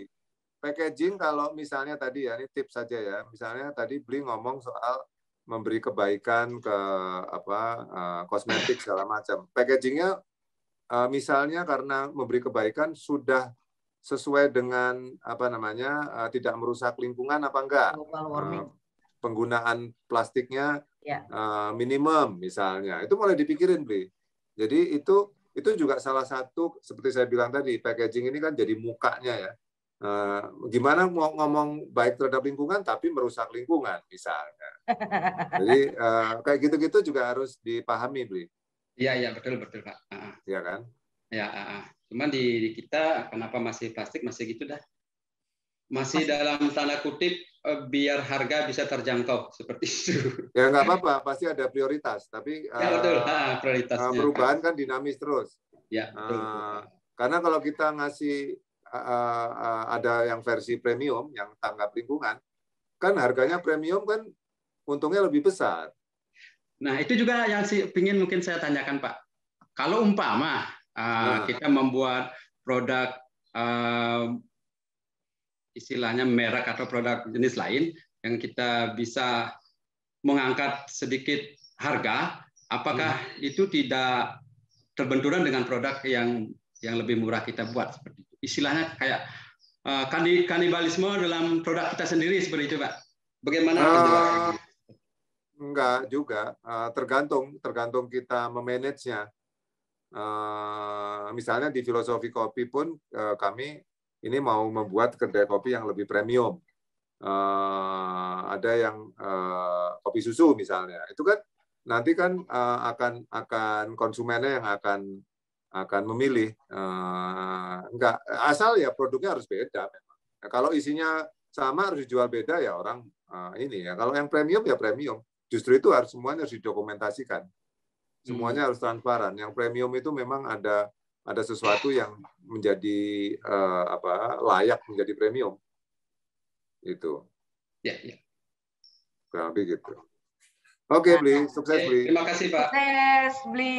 Sukses. Mudah-mudahan udah terjawab ya, Beli. Sudah, siap. Nah, jangan lupa optimis, ya kan? Coach kita udah kece banget hari ini. saya sampai nanya, apa sih kanibalisme dalam dunia bisnis itu apa? Gitu, saya sampai nanya tadi sama saya di sini kan. Ya, saling gini, Bu. Uh, produk yang kita pasarkan dahulu itu di apa direbut dengan istilahnya kita membuat produk baru seperti itu. Dengan oh. membuat produk baru, produk yang lama kita jual apa targetnya turun, uh, yang lain uh, naik seperti itu. Iya. Nah, ya, ya mudah-mudahan ketemu jalan keluarnya ya. Jadi makanya semangat buat beli tepuk tangan dong buat beli Wayan Pandeswana. Ya. Selanjutnya saya akan langsung saja menuju ke petanya penanya selanjutnya ya. Ini banyak banget yang menanya. Ada Mas Erwin Sandak. Ini dari Moldep Kitchen. Silakan Mas Erwin Sandak. Hai. Wah, Halo, ini kayaknya dari Mbak. Manado kah? Dari Manado saya. Alah, toh ngalai. Apa kabar, kakak? Selamat pagi, Pak. Iya. Selamat pagi. Selamat Pagi. Pak Handoko. Erwin. Ya, saya apa eh, Meldi Kitchen. Ini ada pertanyaan mengenai cerita, mengenai storytelling. Saya ingin untuk membangun storytelling itu, apa saya biasa mengklaim sesuatu, umpamanya terbesar, pertama atau terenak. Apakah itu menggunakan data-data statistik atau uji-uji istilahnya uji laboratorium? Apakah mesti begitu istilahnya ya? Untuk menceritakan sesuatu, untuk mengklaim sesuatu itu ada dasarnya seperti ya data statistik atau data dari laboratorium. Terima kasih Pak. Wah, ini pertanyaan bagus banget loh. Ya, ini keren ya pertanyaannya. Keren. Jadi, eh, menurut saya eh, zaman kita sebelum ngomong data ya, zaman klaim eh, terenak, eh, terbaik segala macam itu eh, tinggalkan, Pak. Udah itu udah zaman dulu, udah nggak laku. Saya misalnya saya ngomong, wah filosofi kopi itu kopinya paling enak tuh, orang nggak akan percaya, Pak. Nggak akan percaya. Kenapa? Karena eh, satu nggak ada dasarnya, kedua itu kan sesuatu yang sangat subjektif. Eh, jadi kita nggak bisa ngeklaim eh, paling ter- ter- terutama superlatif gitu ya, terutama untuk hal yang sifatnya nggak ada datanya. Jadi saya tidak menyarankan untuk teman-teman ngeklaim hal-hal yang sifatnya seperti itu. Nah, kalau di FNB eh, ini Maldep Kitchen ini kan semacam eh, apa? Ini eh, sambal ya Pak ya, Ya sambal. sambal. Yang yang bisa itu justru yang menarik trennya Pak, karena sekarang eh, kembali ke eh, tadi authenticity, eh, kebaikan segala macam. Itu yang bisa dilakukan adalah taruh eh, istilahnya nutritional fact, fakta-fakta nutrisional. Itu yang membuat eh, produk kita akan eh, apa akan eh, dipercaya Pak. Apalagi kalau ditambah dengan eh, cerita selain nutritional fact, kalau nutritional fact kan eh, sifatnya eh, apa ya research ya, Eh, eh, research eh, harus bekerja sama dengan lab lah, Eh, lab eh, lab ya, eh, tes gitu ya. Eh, itu juga eh, mending narasi-narasi yang sifatnya lokalitas pak, misalnya bahan-bahannya diambil dari lingkungan sekitar. Eh, dari cabai dari saya nggak tahu di sekitar situ cabenya jenisnya unik. Eh, itu bisa dicari juga. Eh, cabai di situ kenapa sambal dari Manado itu enak? Eh, ada campuran apa? Saya nggak tahu. Eh, ikan atau apa? Saya nggak tahu. Itu hal kayak gitu-gitu otentisitasnya bisa diangkat. Eh, itu yang menjadi eh, eh, unik. Tapi tidak bilang ter pak tapi potensi untuk ngangkat cerita lokalitas itu eh, dengan sambal roa eh, segala macam itu eh, akan akan akan akan sangat sangat keren pak. Dan menurut saya apa peluang untuk membesarkan antara nutritional fact dan kekuatan kultur eh, which is tadi roa segala macam ya dengan yang kita kebayang gitu ya itu akan sangat luar biasa pak. Dan itu bisa mengglobal gitu saya yakin banget dan dan eh, eh, sebenarnya bapak punya peluang untuk menarasikan ini eh, menjadi eh, sesuatu yang yang kuat gitu ya ya oleh-oleh ya segala macam ya. Karena kan eh, apa ya istilahnya indigenous ya eh, apa eh, sesuatu yang khas ya. Kalau kopi kan kita tahu lah ya kopi dari Wamena atau Papua dari eh, Gayo eh, Sidikalang segala macam sambal pun juga punya indigenous pak nah apalagi kalau cerita-cerita indigenous dan ditambah dengan nutritional fact itu yang membuat keren pak Nah, kayak misalnya kita eh, apa sih eh, apa eh, sambal yang pedas sekali yang internasional itu eh, yang botolnya kecil jadi lupa saya tiba-tiba semalam baru makan eh, Tabasco misalnya Bon cabe, Ah. Pak. Ah, itu kan itu kan eh, juga langsung mengingatkan ke sebuah negara, sebuah wilayah, Pak. Itu yang potensinya besar, Pak. Kalau kita ingat eh, sambelnya Bapak itu mengingatkan ke sebuah wilayah, dan punya uh, apa eksotisme yang tinggi. Nah, jadi dua saran saya tadi uh, nutritional fact dan uh, uh, indigenous lokalitas itu keren, Pak. Itu sih dari saya. Uh, bisa saya tanggapi, Pak? Boleh. Iya, selama ini memang visi misi kami itu mengangkat potensi daerah. Termasuk kemasan kami itu ada ikon-ikon apa ikon-ikon wisata, ikon-ikon budaya kami. Jadi ada ada budaya. Jadi kami mengangkat itu termasuk bahan bakunya itu kami hanya ada yang di Sulawesi Utara, termasuk ikan-ikan endemis. Kami banyak ikan endemis. Bukan hanya di misalnya hanya di danau di Tondano, ikan roa yang hanya di perairan di Sulawesi Utara, termasuk Maluku sih Pak ada. Ya itu. Jadi konsep bisnis kami, kami mengangkat yaitu budaya sambil karena pembeli kami itu ya wisatawan. Karena itu kami ingin memberikan mereka juga, istilahnya bukan hanya produk kami, tapi kami juga memberikan di Manado di Sulawesi Utara ini ada tempat wisatanya juga, termasuk budaya. Gitu. Itu sih konsep bisnis kami termasuk ya bahan bakunya hanya di sekitar. Jadi saya juga mau mereka makan sambal saya ya ya itu dari Manado, hanya tahu dari Manado karena kami menganggap konsep kami asli Manado, bahan baku Manado, kami juga eh, orang Manado, resep kami juga ya dari Manado. Jadi semua cerita-cerita seperti begitu yang kami angkat. Pak, saya tambahkan, Pak. Ya. Saya tambahkan. Bapak juga bisa kan tadi Bapak bilang bagus sekali masuk ke wilayah wisata. Uh, misalnya kan Bapak kan cukup punya kepentingan yang besar terhadap lingkungan karena ikan ya. Misalnya ya, Bapak ya. juga melakukan hal-hal yang agak keluar dari dari produk, misalnya Bapak peduli untuk membersihkan uh, pantai itu dari plastik, misalnya bareng dengan masyarakat nelayan misalnya. Ya. Itu itu sesuatu yang juga bisa dilakukan dalam konteks narasi dan branding, Pak. Nggak cuman sekedar ngomong, eh, gua terbaik, gua terbaik, gua terbaik gitu orang lama-lama juga dengarnya ini. Tapi kalau eh gue bermakna nih, gue ngangkat uh, lokalitas nih, gue peduli terhadap pantai nih, uh, masa depan kita ada di laut nih gitu. Nah itu hal-hal kayak gitu itu akan menambah kekuatan branding kita pak. Karena orang juga akan tahu kalau bapak juga ikut bersihin uh, uh, sampah plastik yang di laut itu sangat uh, mengenaskan lah kasarnya gitu. Saya kalau melihat ke pantai juga sedih ya. Orang-orang eh, orang-orang dari Jakarta berlibur ke sana eh buka buang sampahnya seenaknya gitu kan. Nah itu kan kurang ajar ya orang-orang seperti teman-teman saya dari Jakarta. Jadi itu itu bisa di di diinin pak. Nah itu kan menjadi simpatik. Jadi membangun brand itu membangun sesuatu yang apa baik gitu pak. Gitu pak. Sukses pak keren oke pak terima kasih pak Andoko mantap Tepuk tangan sekali lagi. Wah, ya. Jadi memang untuk bisa membangun empati butuh simpati dulu, asik. Betul. nah, wah, semoga Samberoa bisa mendunia ya, Pak. Harus. Jadi pengen Samberoa nih. Mudah-mudahan ada event ke Medan ya Allah. Eh Manado ya Allah, ya kan gitu.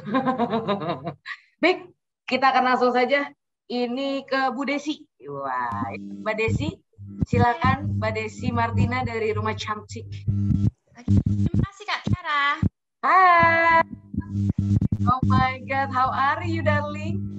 Oke Pak, uh, Pak Andoko dari tadi tuh Pak Andoko tuh simple namun yeah. bermakna.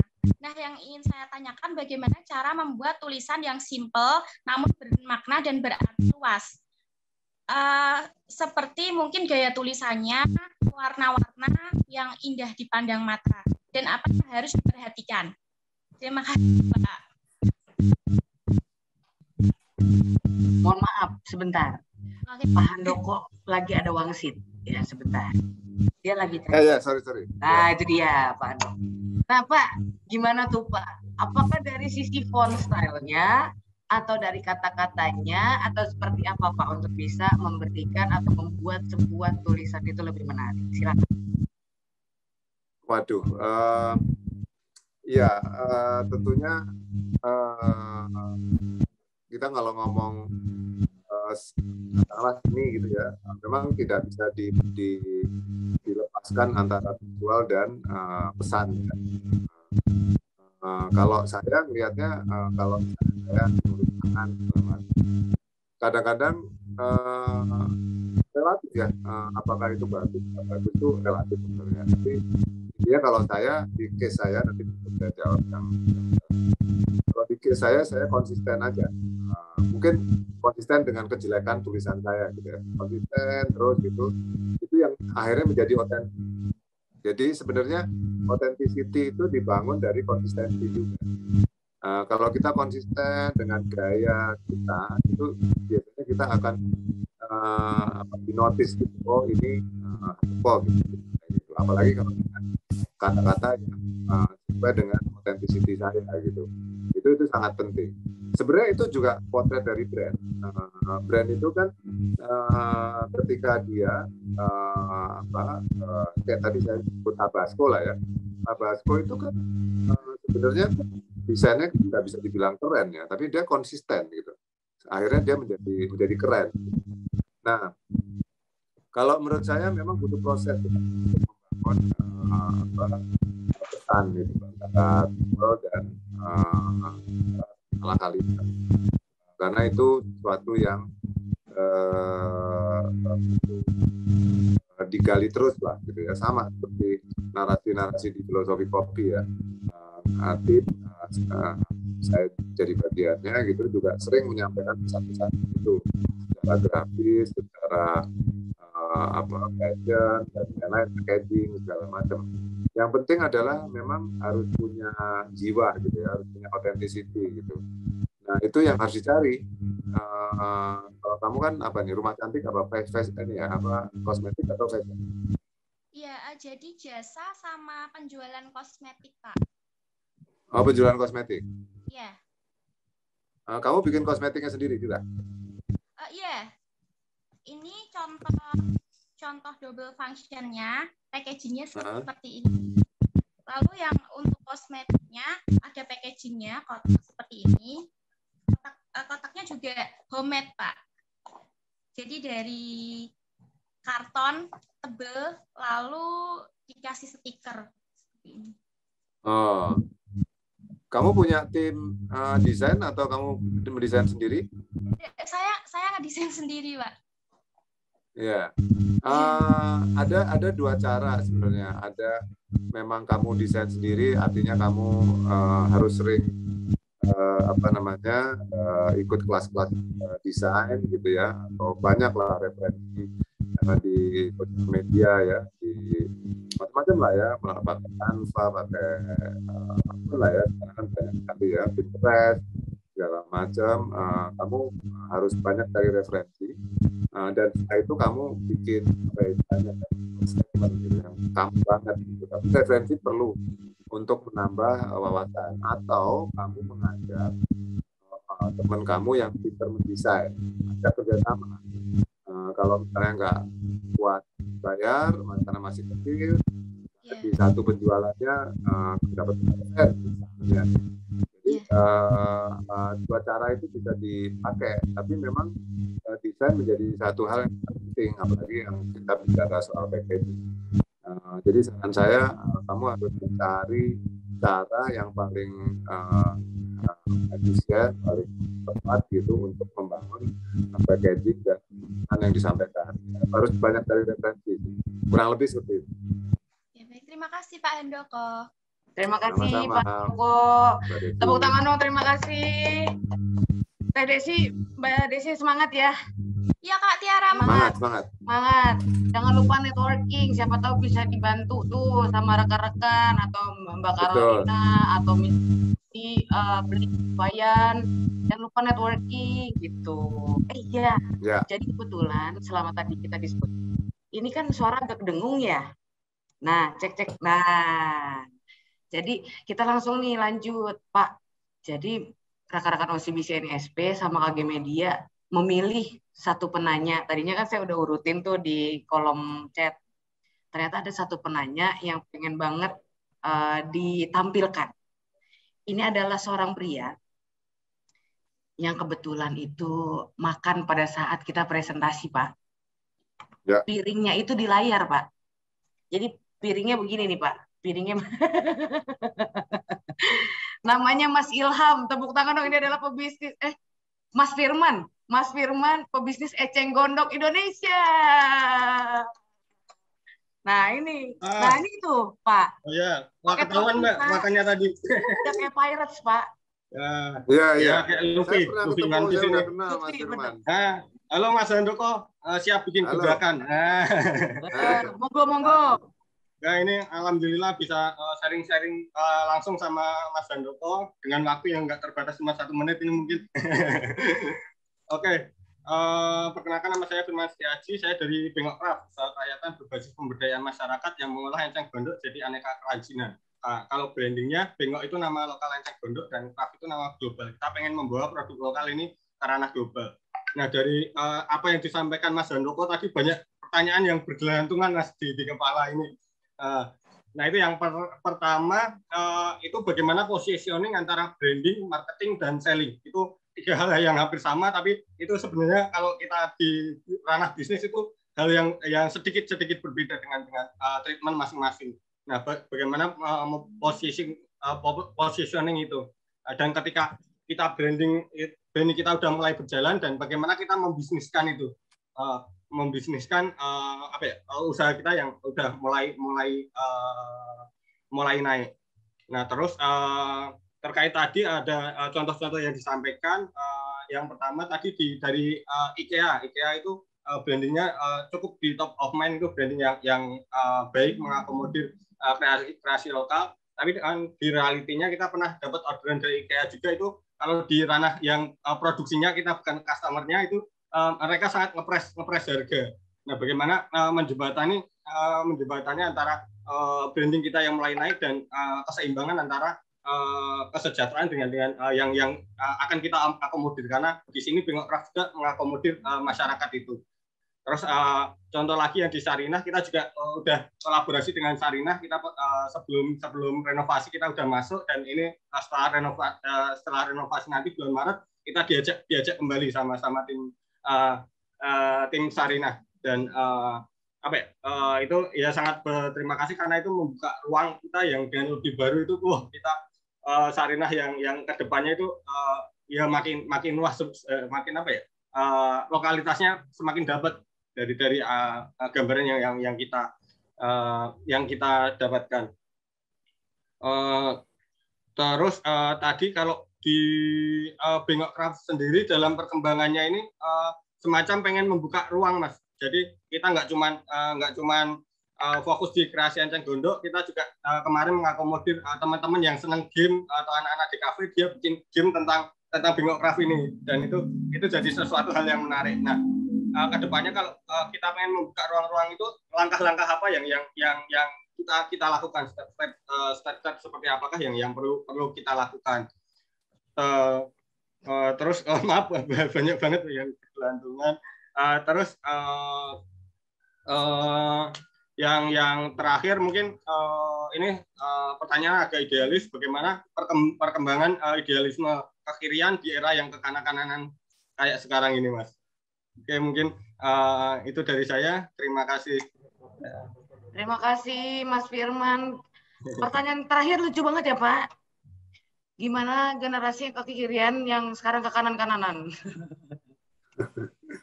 Emang Ya. dah. Silakan Pak. Kayaknya yang kiri kanan kayaknya Mbak Tiara yang jawab nanti. Oke, eh, apa namanya?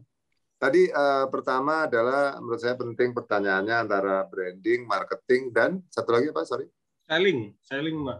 selling ya. Branding, marketing dan selling. Ya, kalau branding dan Ah. marketing kan belum ke apa belum tentu langsung dapat uh, hasilnya. Itu perlu ada Ya, selling. Yes.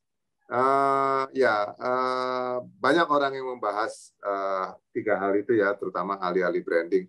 Eh, walaupun saya agak agak berbeda ya. Eh, menurut saya, ketika kita membahas eh, branding atau berpikir branding, eh, harusnya kita sudah berpikir selling. sebenarnya. Eh, artinya, nah, seperti yang saya bilang tadi, eh, kita ketika branding kita harus eh, atau ide, eh, branding ibaratnya ide ya ibaratnya ide, kita ngomong idealisme-idealisme kita atau jualan-jualan kita, itu harus sudah memberi gambaran tentang marketing, bahkan mengenai selling, menurut saya. karena itu sesuatu yang tidak bisa dipisahkan. Saya tidak pernah berpikir bahwa branding itu hanya attract orang untuk tertarik, tidak bisa. Tapi apa tractionnya harus sudah dipikirkan ke arah bisnis model dan akhirnya menjadi hitung-hitungan yang bisa diprediksi Eh, bisa eh, proyeksi ya. Kita harus melakukan proyeksi-proyeksi, projection ya. Eh, dan disiplin itu harus bisa dihitung dari awal. Itu yang sulit sebenarnya. Karena banyak orang ahli branding, ya maaf ya, orang ahli branding itu bukan pelaku. Kalau Mas Firman kan pelaku, harusnya pada waktu branding sudah berpikirkan uh, uh, sellingnya. Walaupun bukan berarti saya nggak bilang bahwa suatu saat Mas Firman perlu ahli branding, uh, perlu orang yang uh, mendesain logonya atau mendesain uh, tempat displaynya atau apa pun ya. Itu itu itu perlu ya. Itu itu mungkin saya kategorikan sebagai desain ya atau part dari bagian dari branding. Nah, jadi tiga hal tadi menurut saya harus menjadi Eh, disiplin eh, ketika kita membranding itu eh, harus harus kita bisa memperhitungkan apa namanya KPI-nya ya. Nah, ini akan menghasilkan apa ketika di branding seperti apa gitu. Itu penting banget. Misalnya kita mau misalnya topi yang Mas pakai, misalnya bikin topi modelnya seperti ini gitu kan, dengan branding seperti ini gitu ya uh, apa misalnya uh, Bangkok uh, apa sorry Bangkok uh, Cap gitu misalnya Bangkok Cap itu sebagai sub sub brandingnya terus uh, mau di uh, pasarin di mana gitu ya di pantai atau di mana di mana segala macam itu kan uh, sudah sudah menjadi satu antara branding marketing dan selling. Uh, itu tuh sangat sangat sangat menurut saya sangat menjadi satu gitu. Itu menurut saya yang soal pasarin di M Block juga mungkin Mas. ya misalnya. Atau misalnya di M Block bikin khusus uh, tas untuk belanja. Nah. M Block Market misalnya iya, kan? uh, dan misalnya misalnya langsung kolaborasi gitu ya. Kolaborasi sama uh, artis siapa gitu misalnya. Seniman ya maksud saya. Misalnya nih. Jadi itu kan uh, branding disiplin branding yang bisa langsung engage ke Eh, marketingnya ke konsumen segala macam. Nah itu kan kita bisa bisa bisa kita explore ya hal kayak gitu-gitu. Jadi exploring itu penting banget, mengeksplor, research uh, segala macam itu menjadi satu. Saya ibaratnya menurut saya branding sekarang ini eranya era produk sebenarnya. Jadi produknya harus kuat di uh, research developmentnya harus kuat gitu. Mungkin itu yang pertama. Yang kedua apa tadi? Pertanyaannya banyak soalnya sebelum sama yang kiri kanan tadi. Apa ya, lagi tadi? Itu uh, ketika eh, branding menjadi uh, top of mind, bagaimana realitanya kita uh, mengelola internal internalnya. Seperti yang contoh di, di IKEA tadi, uh, mereka dikenal uh, apa ya uh, produk yang bagus tapi uh, harga yang standar dan dan terjangkau. Tapi di realitanya dia uh, apa ya cost produksi untuk untuk para perajin itu kan uh, sangat minim. Itu uh, pernah masuk ke kita juga subnya juga uh, dan ada sharing juga uh, beberapa teman-teman yang yang menerima order itu uh, majunya sangat sangat tipis. Kita bisa mengakomodir itu kalau kalau uh, efisiensi ya ya kalau mengenai IKEA sih uh, saya sih melihatnya uh, teman-teman UKM harus punya brand sendiri uh, harus kuat sendiri gitu ya bukan berarti saya anti IKEA ya. Eh, bisa bisa jadi IKEA itu hanya menjadi uh, apa etalase kita gitu untuk memperlihatkan reputasi kita. Nah, mungkin yang di IKEA jangan terlalu berpikir soal profit karena kan kadang-kadang dalam bisnis itu kita kadang-kadang kita harus melihat kita punya bargaining position atau tidak. Uh, ketika kita belum terlalu punya bargaining position, kita belum terlalu kuat, ya udah itu anggap aja sebagai ajang untuk promosi. Kita jualannya di tempat lain. Nah, itu juga salah satu strategi. Uh, jadi uh, jangan mengandalkan bisnisnya dari IKEA. IKEA benar-benar jadi promosi. Uh, karena etalasenya penting segala macam ya. Kita harus pintar memanfaatkan itu gitu sebagai pelaku. Nah, itu itu itu satu hal. Mungkin karena ngasih kesempatan yang lain, yang tadi kiri kanan, kalau menurut saya uh, intinya sih saya nggak mau masuk kiri kanan ya, tapi intinya adalah uh, bisnis sekarang itu semakin larinya ke bukan ke kapitalisme memang, larinya ke atau mungkin kalau ngomong kapitalisme lebih ke conscious capitalism. Jadi ngomong soal komunitas, komunalisme, kebaikan, kebersamaan, tetangga, itu memang sangat penting, bukan individual. Uh, jadi uh, ke depan ini uh, kolaborasi kan kita bisa ngerasain ya nanti ya kooperasi, cooperation ya itu akan semakin berkembang. Jadi memang semakin mengarah ke sosial lah saya bilang gitu. Karena kalau ngomong kiri kanan nanti orang bisa salah ngerti ya. Uh, tapi lebih ke mengarah ke kalau saya bilang sih semakin ke Pancasila lah itu yang paling tepat. Ya. Bisnis sekarang.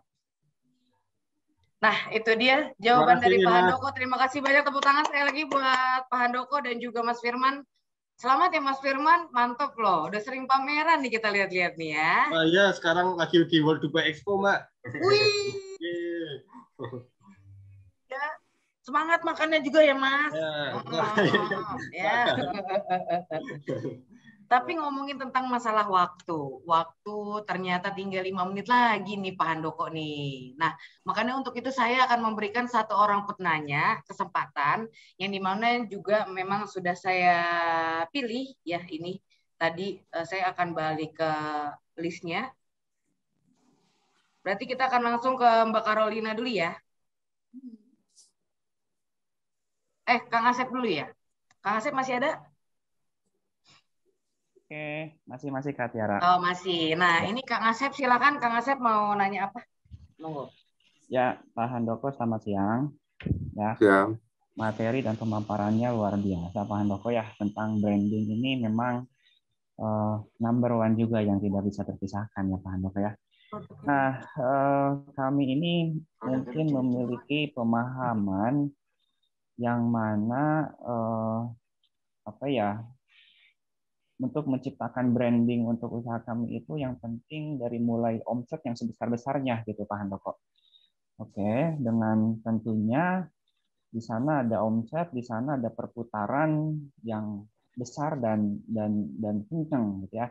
Nah, tentunya dengan dengan juga syarat-syarat kualitas apa produk yang bagus, kemudian juga servis ke uh, para konsumen kami juga yang yang brilian gitu ya.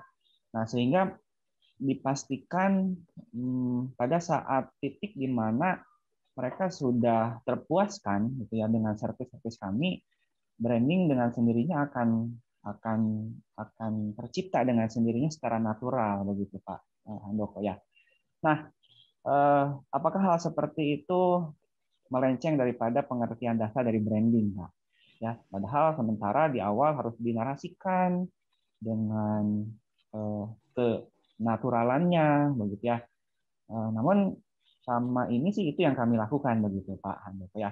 Dan eh, sering kali juga pada saat ketemu customer apa customer customer atau konsumen kami yang mungkin ingin lebih juga mereka bahkan meminta produk ke kami itu dalam bentuk polos sehingga mereka bisa membuat brandnya sendiri gitu. Nah, apakah hal yang tersebut juga keliru gitu ya eh, langkah kami eh, mungkin akan ada efek entah seperti apa karena brandnya kami itu dipakai oleh brandnya eh, konsumen sendiri begitu Pak Handoko ya. Nah, nah hal-hal yang seperti itu saya pikir toh mereka pun akan membeli hulunya di kami gitu Pak ya untuk produk-produk kebetulan kami adalah produsen alat-alat dapur dari kayu ya, segala macam ada 200 item yang kami eh, pasarkan begitu Pak. Nah, mungkin seperti itu Pak eh, apa mohon mohon pencerahannya untuk kami Pak. Terima kasih Pak. Ya. Uh, jadi uh, nah ini pentingnya pemahaman bisnis ya. Uh, menurut saya uh, buat kita semua. Uh, bisnis itu kan sebenarnya kan kalau kita ngomong konsumen kan uh, bisa uh, istilah umumnya itu uh, B2C atau B2B gitu ya. Uh, kalau kalau tadi uh, kita memang secara uh, apa rasional bisnis kita B2B uh, apa, menjadi maklun katakanlah gitu ya, memproduksi untuk orang lain uh, itu ya nggak apa-apa. Uh, berarti kan uh, itu pilihan. Uh, misalnya uh, di sebuah usaha yang kamu bikin itu uh, B2B-nya misalnya uh, 70 persen terus yang 30% bikin brand sendiri. Enggak apa-apa juga. Uh, 80% uh, B2B, 20% bikin brand sendiri. Itu enggak apa-apa juga. Kan kita semua pasti ada pertimbangan. Misalnya ada teman saya, misalnya bisnisnya uh, 90% memasok uh, untuk Starbucks gitu. Kan nggak apa-apa juga, 10% dia bikin brand sendiri. Karena kan ada perhitungannya pasti bisnis kan. Uh, tadi berapa persen itu uh, uh, dan ketika kita B2B nggak usah maksain bahwa uh, produk itu dari kita. Kita konsentrasi menservis dari B2B itu. Berarti customer kita B2B. Kalau misalnya kita misalnya kayak kamu bisa jualan ke IKEA, yang satu lagi bisa jualan ke uh, saya katakanlah Informa atau Vivere atau segala pun nggak nggak masalah karena B2B berarti mainnya volume. Tapi ketika wah ini kalau B2B semua bahaya nih kalau ada apa-apa nih karena kan tergantung dengan orang lain. Nah, berarti untuk amannya uh, yang uh, B2C-nya ditingkatin nih yang tadinya 20% jadi 30% atau yang 30% maunya 60% gitu kan. Nah, sementara yang B2B kan udah aman. Kalau B2B kan kontrak kan. Kontrak base misalnya setahun. Nah, berarti kan aman. Nah, jadi uh, uh, saya sebagai katakanlah orang yang tahu branding tapi juga tahu bisnis pasti juga sangat paham uh, dengan uh, prioritas uh, uh, yang dilakukan atau membranding B2B dengan membranding B2C kan bisa lain juga. Nah, kalau B2B mungkin ya uh, di deck gitu ya di uh, deck kita berarti uh, disiplinnya disiplin B2B gitu kan atau di uh, website kita gitu. Kan pasti ada Uh, boleh nggak bagi uh, apa namanya uh, partner kita untuk kita naruh brand kita misalnya. Uh, dan itu itu lazim itu itu biasanya di secara perjanjian tuh wajar. Mungkin itu sih kalau menurut saya. Siap mana kok semakin ya. yakin. Sukses. Amin amin amin. Ya. sukses kak Asep ya Waduh, jadi pengen tahu nih produknya Mahoni sama Pinus kayak gimana nih. Penasaran banget. Tapi uh, yang pasti ini kan sudah jam 11 lewat ya. Jadi memang karena waktu kita itu adalah dari jam 9 sampai dengan jam 11. Makin, maka bagi rekan-rekan yang memang belum berkesempatan untuk bisa mengikuti sesi tanya jawab, nggak apa-apa. Bagaimana? Satu lagi, woi OCBC sama Kompas Gramedia mantep banget kalau emang ngasih kesempatan. Kata satu lagi, satu lagi, satu lagi katanya gitu. Pak, ini ada dari Carolina nih Pak. Kebetulan Carolina Bath Hander ini adalah salah satu produk juga yang sama kayak di apa namanya marketnya Bapak yang di uh, M Block jadi dia tuh jual kayak sabun-sabun gitu Pak, tapi dari bahan dasarnya memang dari alam Indonesia dan sempat kemarin kerjasama juga dengan produk dari Asia Tenggara, salah satu negara Asia Tenggara. Nah kali ini Mbak Carolina ini pingin langsung bertanya sama Bapak tentang bagaimana sih caranya untuk bisa nge-branding secara usahanya dia baru uh, satu tahun nih Pak gitu. Silakan Mbak Carolina, monggo. Halo Pak Handoko. Halo. Halo Mbak Carolina. ya Allah, bedek-dekan pisan ini wajahnya. Tepuk tangan dulu dong buat Mbak Carolina. Aduh, lucu nih. sampai keringatan ya ampun uh, aku seneng banget bisa dikasih kesempatan akhirnya uh, apa namanya sampai gemeter nih pengen banget bisa ngobrol jadi uh, mungkin sebelum aku menceritakan atau sharing lebih lanjut sebenarnya sejujurnya saya paha, uh, saya penasaran sama Pak Handoko tentang brandnya kami jadi memang brandnya ya. kami itu 19 bulan. Masih istilahnya masih ya masih kecil masih masih butuh banyak. Nama brandnya apa? Sorry. Oke, okay. nama brandnya kami adalah Bat Ender. Oh, Bat Ender. Oke, okay, oke. Okay. Ya. Nah, pertanyaanku sebelum aku panjang lebar, boleh nggak sih Pak kasih pendapat apa yang Bapak bayangkan ketika uh, membaca atau saya uh, me, me, apa, menyebutkan kata brand bartender. Artinya adalah kira-kira kami uh, jualan apa, terus habis itu uh, tentang menggambarkan apa sih Pak? Terima kasih. Uh, ya, uh, ini kalau saya jujur sih, uh, karena saya mungkin karena bukan cewek dan ya, tidak terlalu ini di kategori itu. Tadi saya sempat bartender gitu ya, uh, terus tapi begitu saya cek itu bat ya, bat ya, uh, kamar mandi ya. Uh, uh, tapi terus terang belum terlalu jelas sih uh, dengan bartender impresinya uh, seperti apa nggak terlalu nggak terlalu jelas ini karena saya sudah buka di uh, apa namanya di Instagram kamu ya saya jadi jadi paham. Uh, tapi memang butuh uh, saya dengan saya nangkep dengan pertanyaan kamu tadi memang butuh sesuatu yang menjadi lebih jelas ya begitu. Ini karena ini kan banyak uh, hampers Natal dan uh, apa occasion ya. Tapi produknya sendiri belum terlalu uh, menjelaskan apa gitu kalau bagi saya ya. Terus terang belum terlalu clear sih. Oke. Jadi kalau misalkan untuk di sosial media sendiri kebetulan kami lagi proses revamp pak.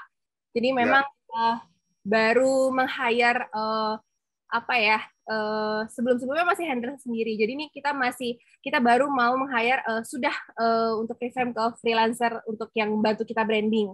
Jadi kalau misalkan yeah. boleh sharing, Batan itu merupakan produk personal care. Uh, saya tidak pernah sel tidak pernah menyebutkan ini kosmetik karena memang uh, ini lebih ke healthcare, personal care yang memang berangkat awalnya dari uh, kebutuhan saya pribadi dan keluarga. Jadi uh, okay jadi memang lahir dari inspirasi seorang ibu yang pengen membantu lebih banyak lagi wanita dan ibu di Indonesia dulu skupnya supaya mereka tidak mengalami hal yang sama masalah kulit setelah melahirkan maupun menyusui yang pernah saya lakukan eh, yang pernah saya alami dulu gitu. Jadi memang saat ini tuh problemnya uh, awalnya adalah dari banyak banget produk natural yang beredar, tapi memang uh, hanya sedikit yang emang aman digunakan untuk ibu-ibu gitu Pak, para wanita dengan harga yang terjangkau, terutama juga dengan para baby gitu kan. Nah, jadi memang Mbak Tender saat ini bekerja sama dengan beberapa petani dan pengrajin lokal yang ada di Jambi dan Biak untuk mendapatkan bahan baku dari mereka. Gitu. Jadi kami memberdayakan hasil bumi dan juga kami memastikan tidak menimbulkan limbah, limbah tambahan. Jadi dengan caranya salah satunya adalah konsep reduce, reuse, recycle. Jadi ini salah dua produknya kami uh, apa namanya kami menerapkan konsep untuk menukarkan packaging yang sudah bersih uh, kalau untuk ini memang bisa direfill kembali. Jadi dengan kemba dikembalikan ke kami, mereka akan uh, mendapatkan harga potongan khusus. Seperti itu, Pak. Itu adalah sekilas tentang bartender. Dan memang kami masih 19 bulan, masih banyak harus belajar. Jadi uh, untuk konsep branding, marketing itu masih penetrasinya masih swadaya gitu kan karena dengan budget terbatas kami mulai dengan personal saving sendiri begitu Pak. Jadi kalau misalkan dari boleh bertanya dari Pak Handoko sendiri melihat produk kami dari segi packaging ini apakah sudah bisa mencerminkan uh, sustainability enough atau belum nih Pak kira-kira? Saya uh, saya lihat yang ini ya. Uh, yang ini uh, dengan uh, apa yang kamu ceritakan sih sebenarnya cukup cukup kuat ya. Uh, justru saya melihat secara keseluruhan uh, apa yang kamu narasikan itu tidak keluar di sosial medianya. Kamu hmm. karena kamu dipenuhi dengan promo-promo uh, di sosial media sehingga narasi tentang uh, katakanlah wellness tentang uh, personal care yang uh, apa namanya sustainable uh, apa uh, healthcare gitu ya uh, itu nggak terlalu keluar di sini Harusnya hmm. kamu lebih uh, brandingnya lebih ke arah apa yang kamu sampaikan tadi gitu dan lebih banyak uh, memberitahu antara bahan uh, tadi yang kamu sourcing dan juga uh, gaya hidup sehat, gaya hmm. hidup uh, apa merawat uh, perawatan uh, personal care yang sehat. Uh, karena uh, ini udah dibanjiri dengan promo-promo yang terlalu banyak sehingga itunya belum nyampe.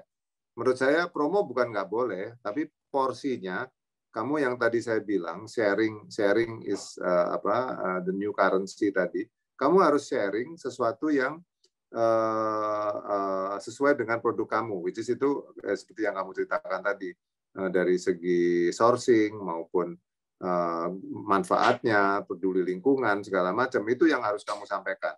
Uh, dan dari situ uh, packagingnya menjadi lebih bermakna. Packaging dan apa namanya uh, katakanlah uh, segala macam bahan-bahan itu bisa kita rasakan gitu. Kalau yang sekarang kurang kurang kurang bisa dirasakan Eh, dan menurut saya di situlah kamu bisa eksplor lebih lebih jauh menurut saya ya. Oke, baik Pak. Tapi bagus produk kamu bagus sih. Wah, terima kasih banyak Pak.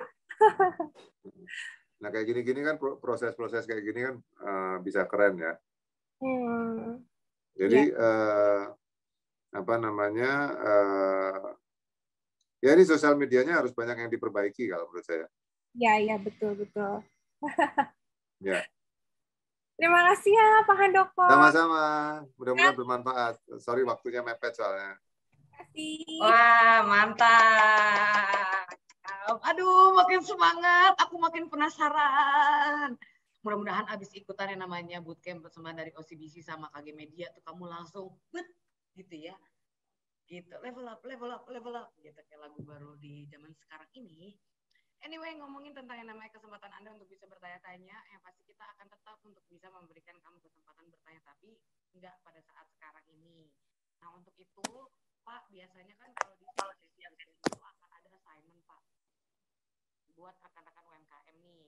Nah, kebetulan kemarin rekan-rekan UMKM itu sudah diberikan kesempatan untuk mengumpulkan assignment pertama, yaitu batas maksimumnya tanggal 16 Desember. Namun kali ini kalau assignment dari Bapak kan tanggal 9 Desember ya, Pak.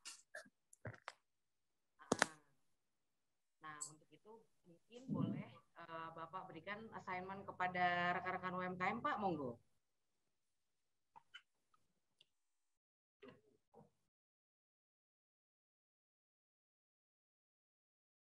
Pak, Pak Andoko, Coach. Ya. Nah, Coach. Yes. Jadi, kan kalau misalnya setiap bootcamp itu kan akan ada assignment, Pak. Yes. Nah, kali ini tuh assignment-nya dari Pak Handoko apa nih buat rekan-rekan UMKM? Sebentar, saya kok jadi lupa ya malah. Ayo Pak, harus ada PR Pak. Soalnya Pak, dari assignment ini, mereka mungkin juga bisa berlatih dari materi yang memang sudah Bapak share pada kesempatan kali oh, ini. Oke, okay. oke. Okay. Hmm. Kira-kira relate nggak nih sama usahanya? Terus apa aja yang udah dilakukan dan lain sebagainya? Silakan Pak Monggo. Ya, oke. Okay. Oke, seperti yang saya sampaikan di presentasi dan saya yakin ini bermanfaat. Eh, kan tadi di materi saya ada eh, apa eh, ide, terus bisnis model, berikutnya adalah SOP gitu ya. Mungkin nggak usah se serumit itu, tapi dari situ sebenarnya bisa disimpulkan buatlah narasi, narasi, tapi juga terbersit uh, apa namanya bisnis model yang disampaikan. Jadi uh, jadi narasi yang kuat yang orang dengar baik itu konsumen maupun investor itu tertarik. Wah ini memang keren nih uh, apa narasinya atau storytellingnya. Jadi storytelling yang punya kekuatan terhadap uh, apa namanya uh, bisnis yang dilakukan. Tadi dari contoh terakhir tadi sebenarnya belum belum ada peluang yang besar untuk membuat narasi yang sekaligus menarik untuk uh, investor atau stakeholder, apa store segala macam. Jadi satu narasi yang punya kekuatan menyeluruh lah kasarnya gitu. Mudah-mudahan jelas. Seperti tagline kah Pak? Bukan. Oh, bukan. Jadi uh, kalau gini, kalau kalau tagline itu zaman dulu sebenarnya. Kalau hmm. kita melihat uh, usaha zaman sekarang yang saya sebut sebagai purpose based uh, apa branding itu sebenarnya uh, ada kebermanfaatan kebermanfaatan yang dijelaskan. Paling gampang sebenarnya patokannya Google.